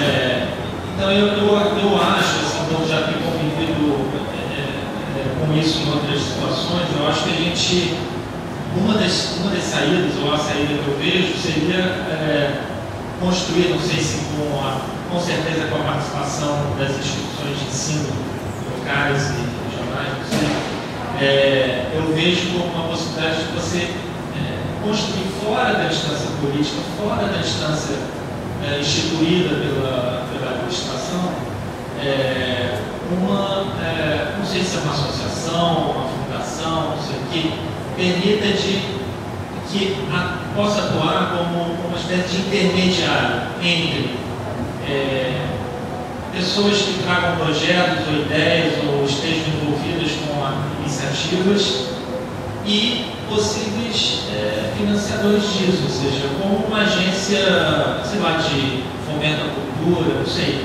nesse tipo de perfil, é, que não teria necessariamente, não seria, não, não seria ligado institucionalmente a uh, nenhum organismo de poder instituído hoje, né, mas que poderia atuar fora desse eu acho que eu só vejo a atuação possível fora desse frame, né, desse, desse quadro administrativo. Porque a administração está toda viciada, pelo entendi. É, e, e, aí, e aí você tem uma estrutura flexível que, não, que pode operar internamente com uma visão estratégica para a região e acatar determinados projetos em função dessa visão é, consensuada ali, por um grupo de pessoas representando instituições culturais, sociais, mentais, etc., que não necessariamente tem que estar empoderada politicamente, mas estará, ou estará, porque ela estará associando pessoas que estão afim disso. Né? E talvez isso influencie, influenciar essa política instituída. Passar por mim, cineticamente, né? a gente tem a presença aqui da, da Luz, que propôs essa semana, para fazer um grande seminário, é, capitaneado aí pela Pedro Paramansa, é, aglomerando as instituições de ensino, as pesquisas ligadas ao, ao Rio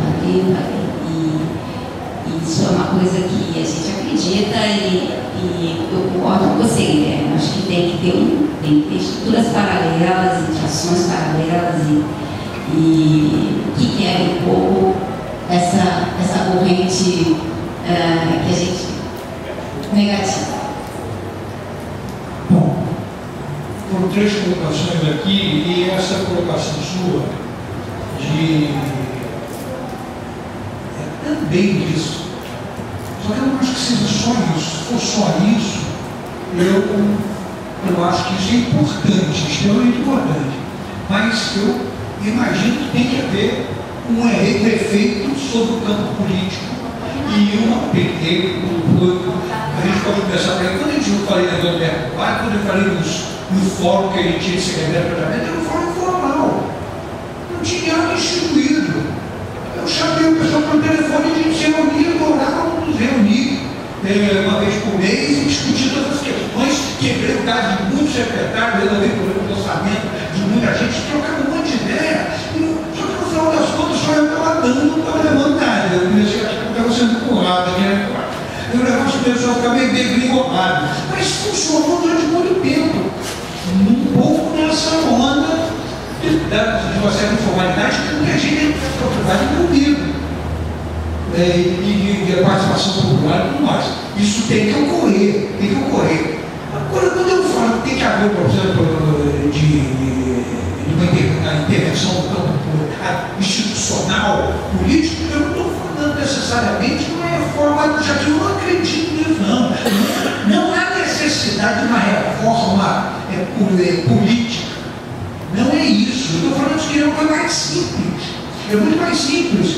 É definir esse papel, fazer uma pressão sobre uma é, regulamentação que já existe, já está colocado institucionalmente. A Constituição já definiu isso.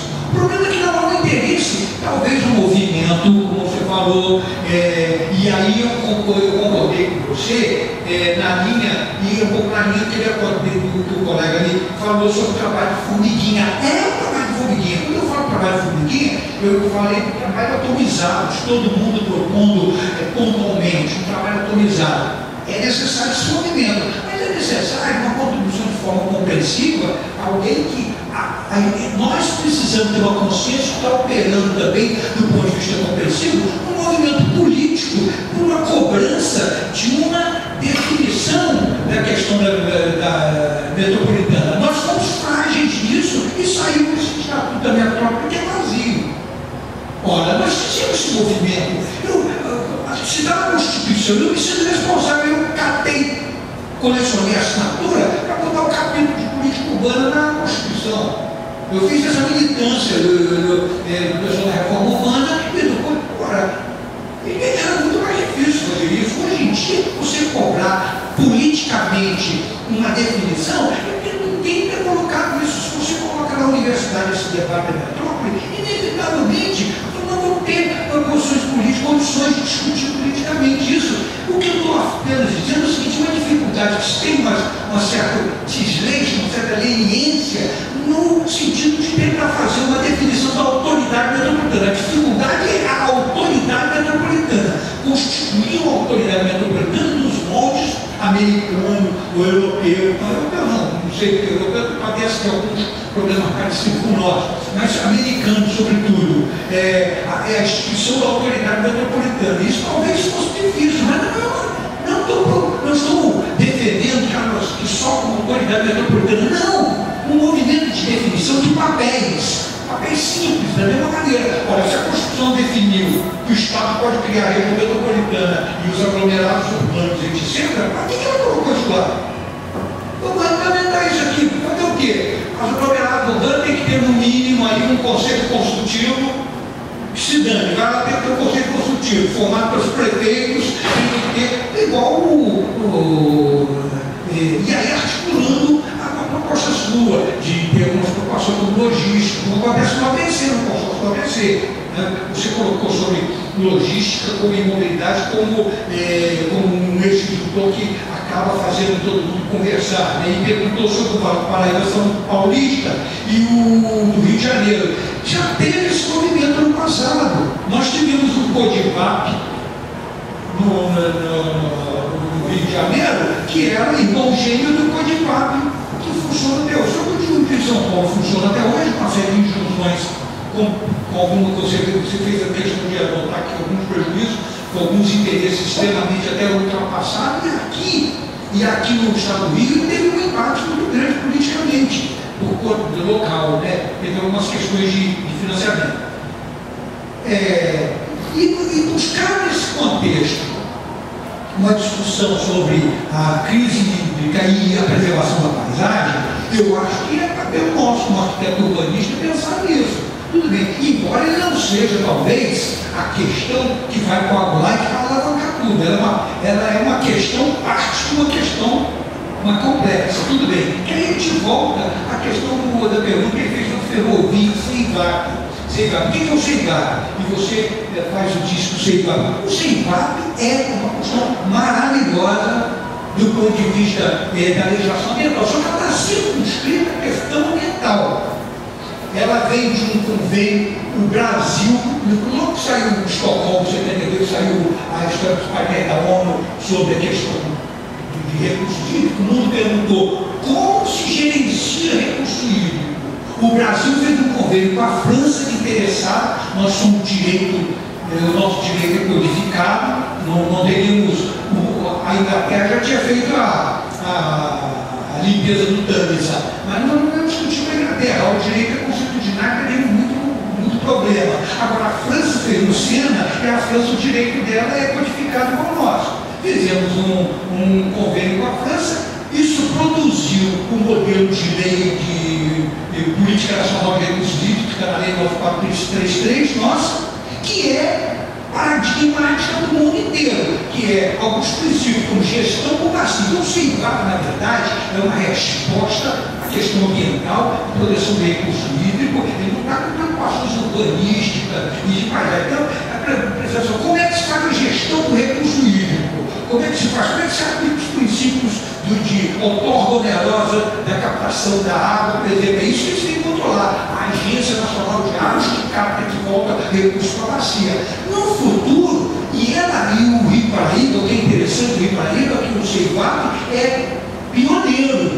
Foi ele que nós, foi no CEIVAP, que nós montamos o projeto piloto que está sendo copiado, está sendo utilizado nas outras bacias do Rio, do Brasil. E o Brasil, o segundo ou terceiro país maior, maior é, proprietário de, detentor de bacias hidrográficas. Então é um modelo extremamente importante do CEIFAB, porque ele é, foi nele que a gente instruiu, montou um modelo, está sendo aplicado agora muito melhor, inclusive, na bacia lá do Ribeirão Piratininga, não sei o que, lá de São Paulo, que eu esqueço os três rios que tem lá.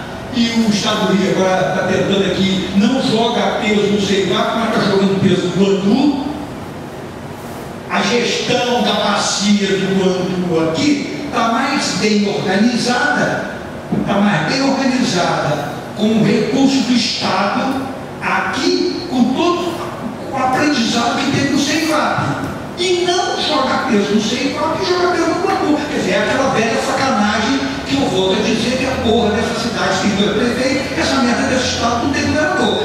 É a sacanagem que eu toda hora identifico. Olha, aprendeu, participou do CEIVAP, que é um modelo de gestão de bacia, aprendeu ali, agora na hora de jogar recurso ali, não joga, joga no Guandu, que é no Rio de Janeiro.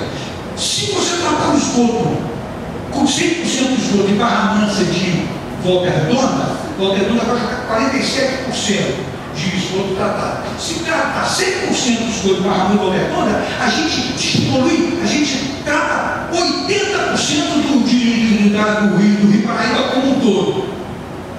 Olha o peso que tem Barra Mansa Volta Redonda. E não é um esgoto industrial, não.